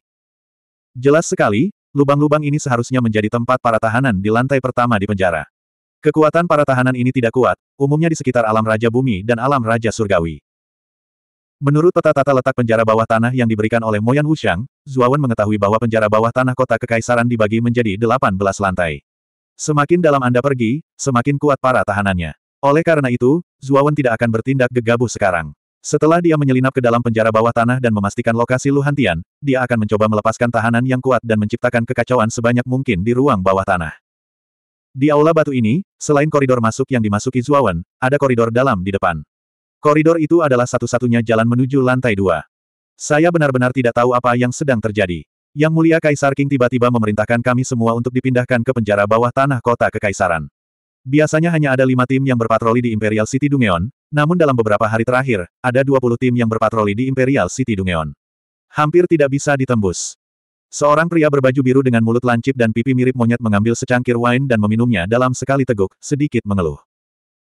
Begitu pria berpakaian biru itu selesai berbicara, pria kekar yang duduk di seberangnya tiba-tiba berkata secara misterius, kamu tidak tahu. 20 tim hanyalah makanan pembuka. Sejauh yang saya tahu, Yang Mulia Kaisar King bahkan telah mengundang lima guru surgawi dari keluarga kekaisaran. Mereka saat ini menjaga kedalaman Dungeon. Apa, bahkan lima guru surgawi telah datang untuk menjaga ruang bawah tanah tersebut. Mungkinkah ada musuh kuat yang menyerang? Begitu kata-kata ini diucapkan, para pemimpin lainnya terkejut. Mereka tidak menyangka bahwa bahkan lima guru surgawi dari keluarga kekaisaran akan berkumpul untuk menjaga penjara bawah tanah tersebut. Ini terlalu berlebihan. Dikatakan bahwa alasan mengapa Yang Mulia Kaisar King mengadakan pertunjukan sebesar itu terutama karena seorang pemuda bernama Zuawan. Anda seharusnya pernah mendengar tentang anak ini, bukan? Pria kekar itu melanjutkan. Aku memang pernah mendengar tentang dia. Tampaknya dia adalah junior yang sangat berbakat. Saat itu, pangeran pertama, Huang Fuudao, hampir dikalahkan oleh anak ini. Para pemimpin lainnya mengangguk setuju. Jelas sekali, mereka tidak asing dengan Zuawan. Mereka semua pergi menonton pertarungan peringkat saat itu, jadi mereka tentu tahu siapa Zuawan. Setelah Zuawan menghilang selama beberapa waktu, dia tiba-tiba muncul di Kabupaten Mungkin dengan cara yang mendominasi. Terlebih lagi, kekuatan yang dia keluarkan bahkan lebih mengejutkan. Para ahli elit yang dibawa oleh Glan, Feng, Chao, dan Blue Dragon Hall semuanya dimusnahkan oleh anak ini. Di antara mereka adalah Azure Dragon Guard King Yi, kepala keluarga Glan, Chao, dan Feng. Mendengar ini, para pemimpin lainnya sangat terkejut. Penjaga Azure Dragon King Yi, kepala keluarga Glan, Glan Haohai, Chao Zi, dan Feng Tian semuanya ahli dalam tahap awal tahap kemuliaan emas. Mereka adalah ahli terkenal di kota kekaisaran, tetapi mereka telah dimusnahkan oleh Zuawan sendiri. Lelucon yang luar biasa. Tidak ada keraguan tentang itu. Dikatakan bahwa anak ini adalah keturunan Ryuka dan memiliki jiwa naga yang sangat kuat di tubuhnya. Meskipun tingkat kultivasinya tidak terlalu tinggi, kekuatannya adalah salah satu yang terbaik. Pria kekar itu mengerutkan bibirnya dan berkata. Mendengar ini, yang lain memperlihatkan ekspresi lega. Tidak heran Zuawan begitu menakutkan. Ternyata dia adalah keturunan Ryuka dengan jiwa naga yang kuat. Tidak mengherankan kalau dia bisa membunuh ahli tahap kemuliaan emas. Sepuluh ribu tahun yang lalu, Ryuka telah memerintah wilayah timur selama puluhan ribu tahun. Meskipun Ryuka telah menghilang selama puluhan ribu tahun, generasi muda seniman bela diri kuno masih memiliki kesan mendalam terhadap para ahli Ryuka. Semua orang tahu bahwa seniman bela diri kuno Ryuka dapat membangkitkan jiwa naga, dan jiwa naga adalah jiwa armor yang kuat dan lebih unggul dari jiwa armor lainnya. Sepuluh ribu tahun yang lalu, para seniman bela diri kuno Ryuka yang telah membangkitkan jiwa naga yang kuat dapat menantang ahli tahap kemuliaan emas lainnya setelah tingkat kultivasi mereka mencapai tahap empat kemuliaan. Yang lebih abnormal lagi adalah ada beberapa seniman bela diri kuno Ryuka yang tiada taranya yang mampu membunuh ahli tahap kemuliaan ilahi ketika mereka masih berada di alam Suansun. Ketika tingkat kultivasi mereka mencapai tahap kemuliaan ilahi, mereka bahkan bisa bersaing dengan ahli alam kaisar. Dapat dikatakan bahwa seniman bela diri kuno Ryuka adalah lambang teror 10.000 tahun yang lalu. Mengingat kembali kejayaan seniman bela diri kuno Ryuka, banyak seniman bela diri kuno yang masih menghela nafas. Zuawan, yang sedang duduk di depan meja dan berpikir dalam diam, menyipitkan matanya. Ada sedikit rasa dingin di matanya. Kaisar King sangat mementingkan misi penyelamatan Zuawan sehingga dia mengirim kelima yang mulia surgawi keluarga kekaisaran untuk menjaga penjara bawah tanah tersebut. Perlahan berdiri, Zuawan berjalan tanpa suara keterowongan di depannya. Dia bermaksud untuk memasuki level kedua, dan dia harus mencari tahu lokasi dan berita Lu Hantian sesegera mungkin. Berhenti. Pemimpin Hui Feng, apa yang kamu coba lakukan? Kami tidak memenuhi syarat untuk memasuki level kedua.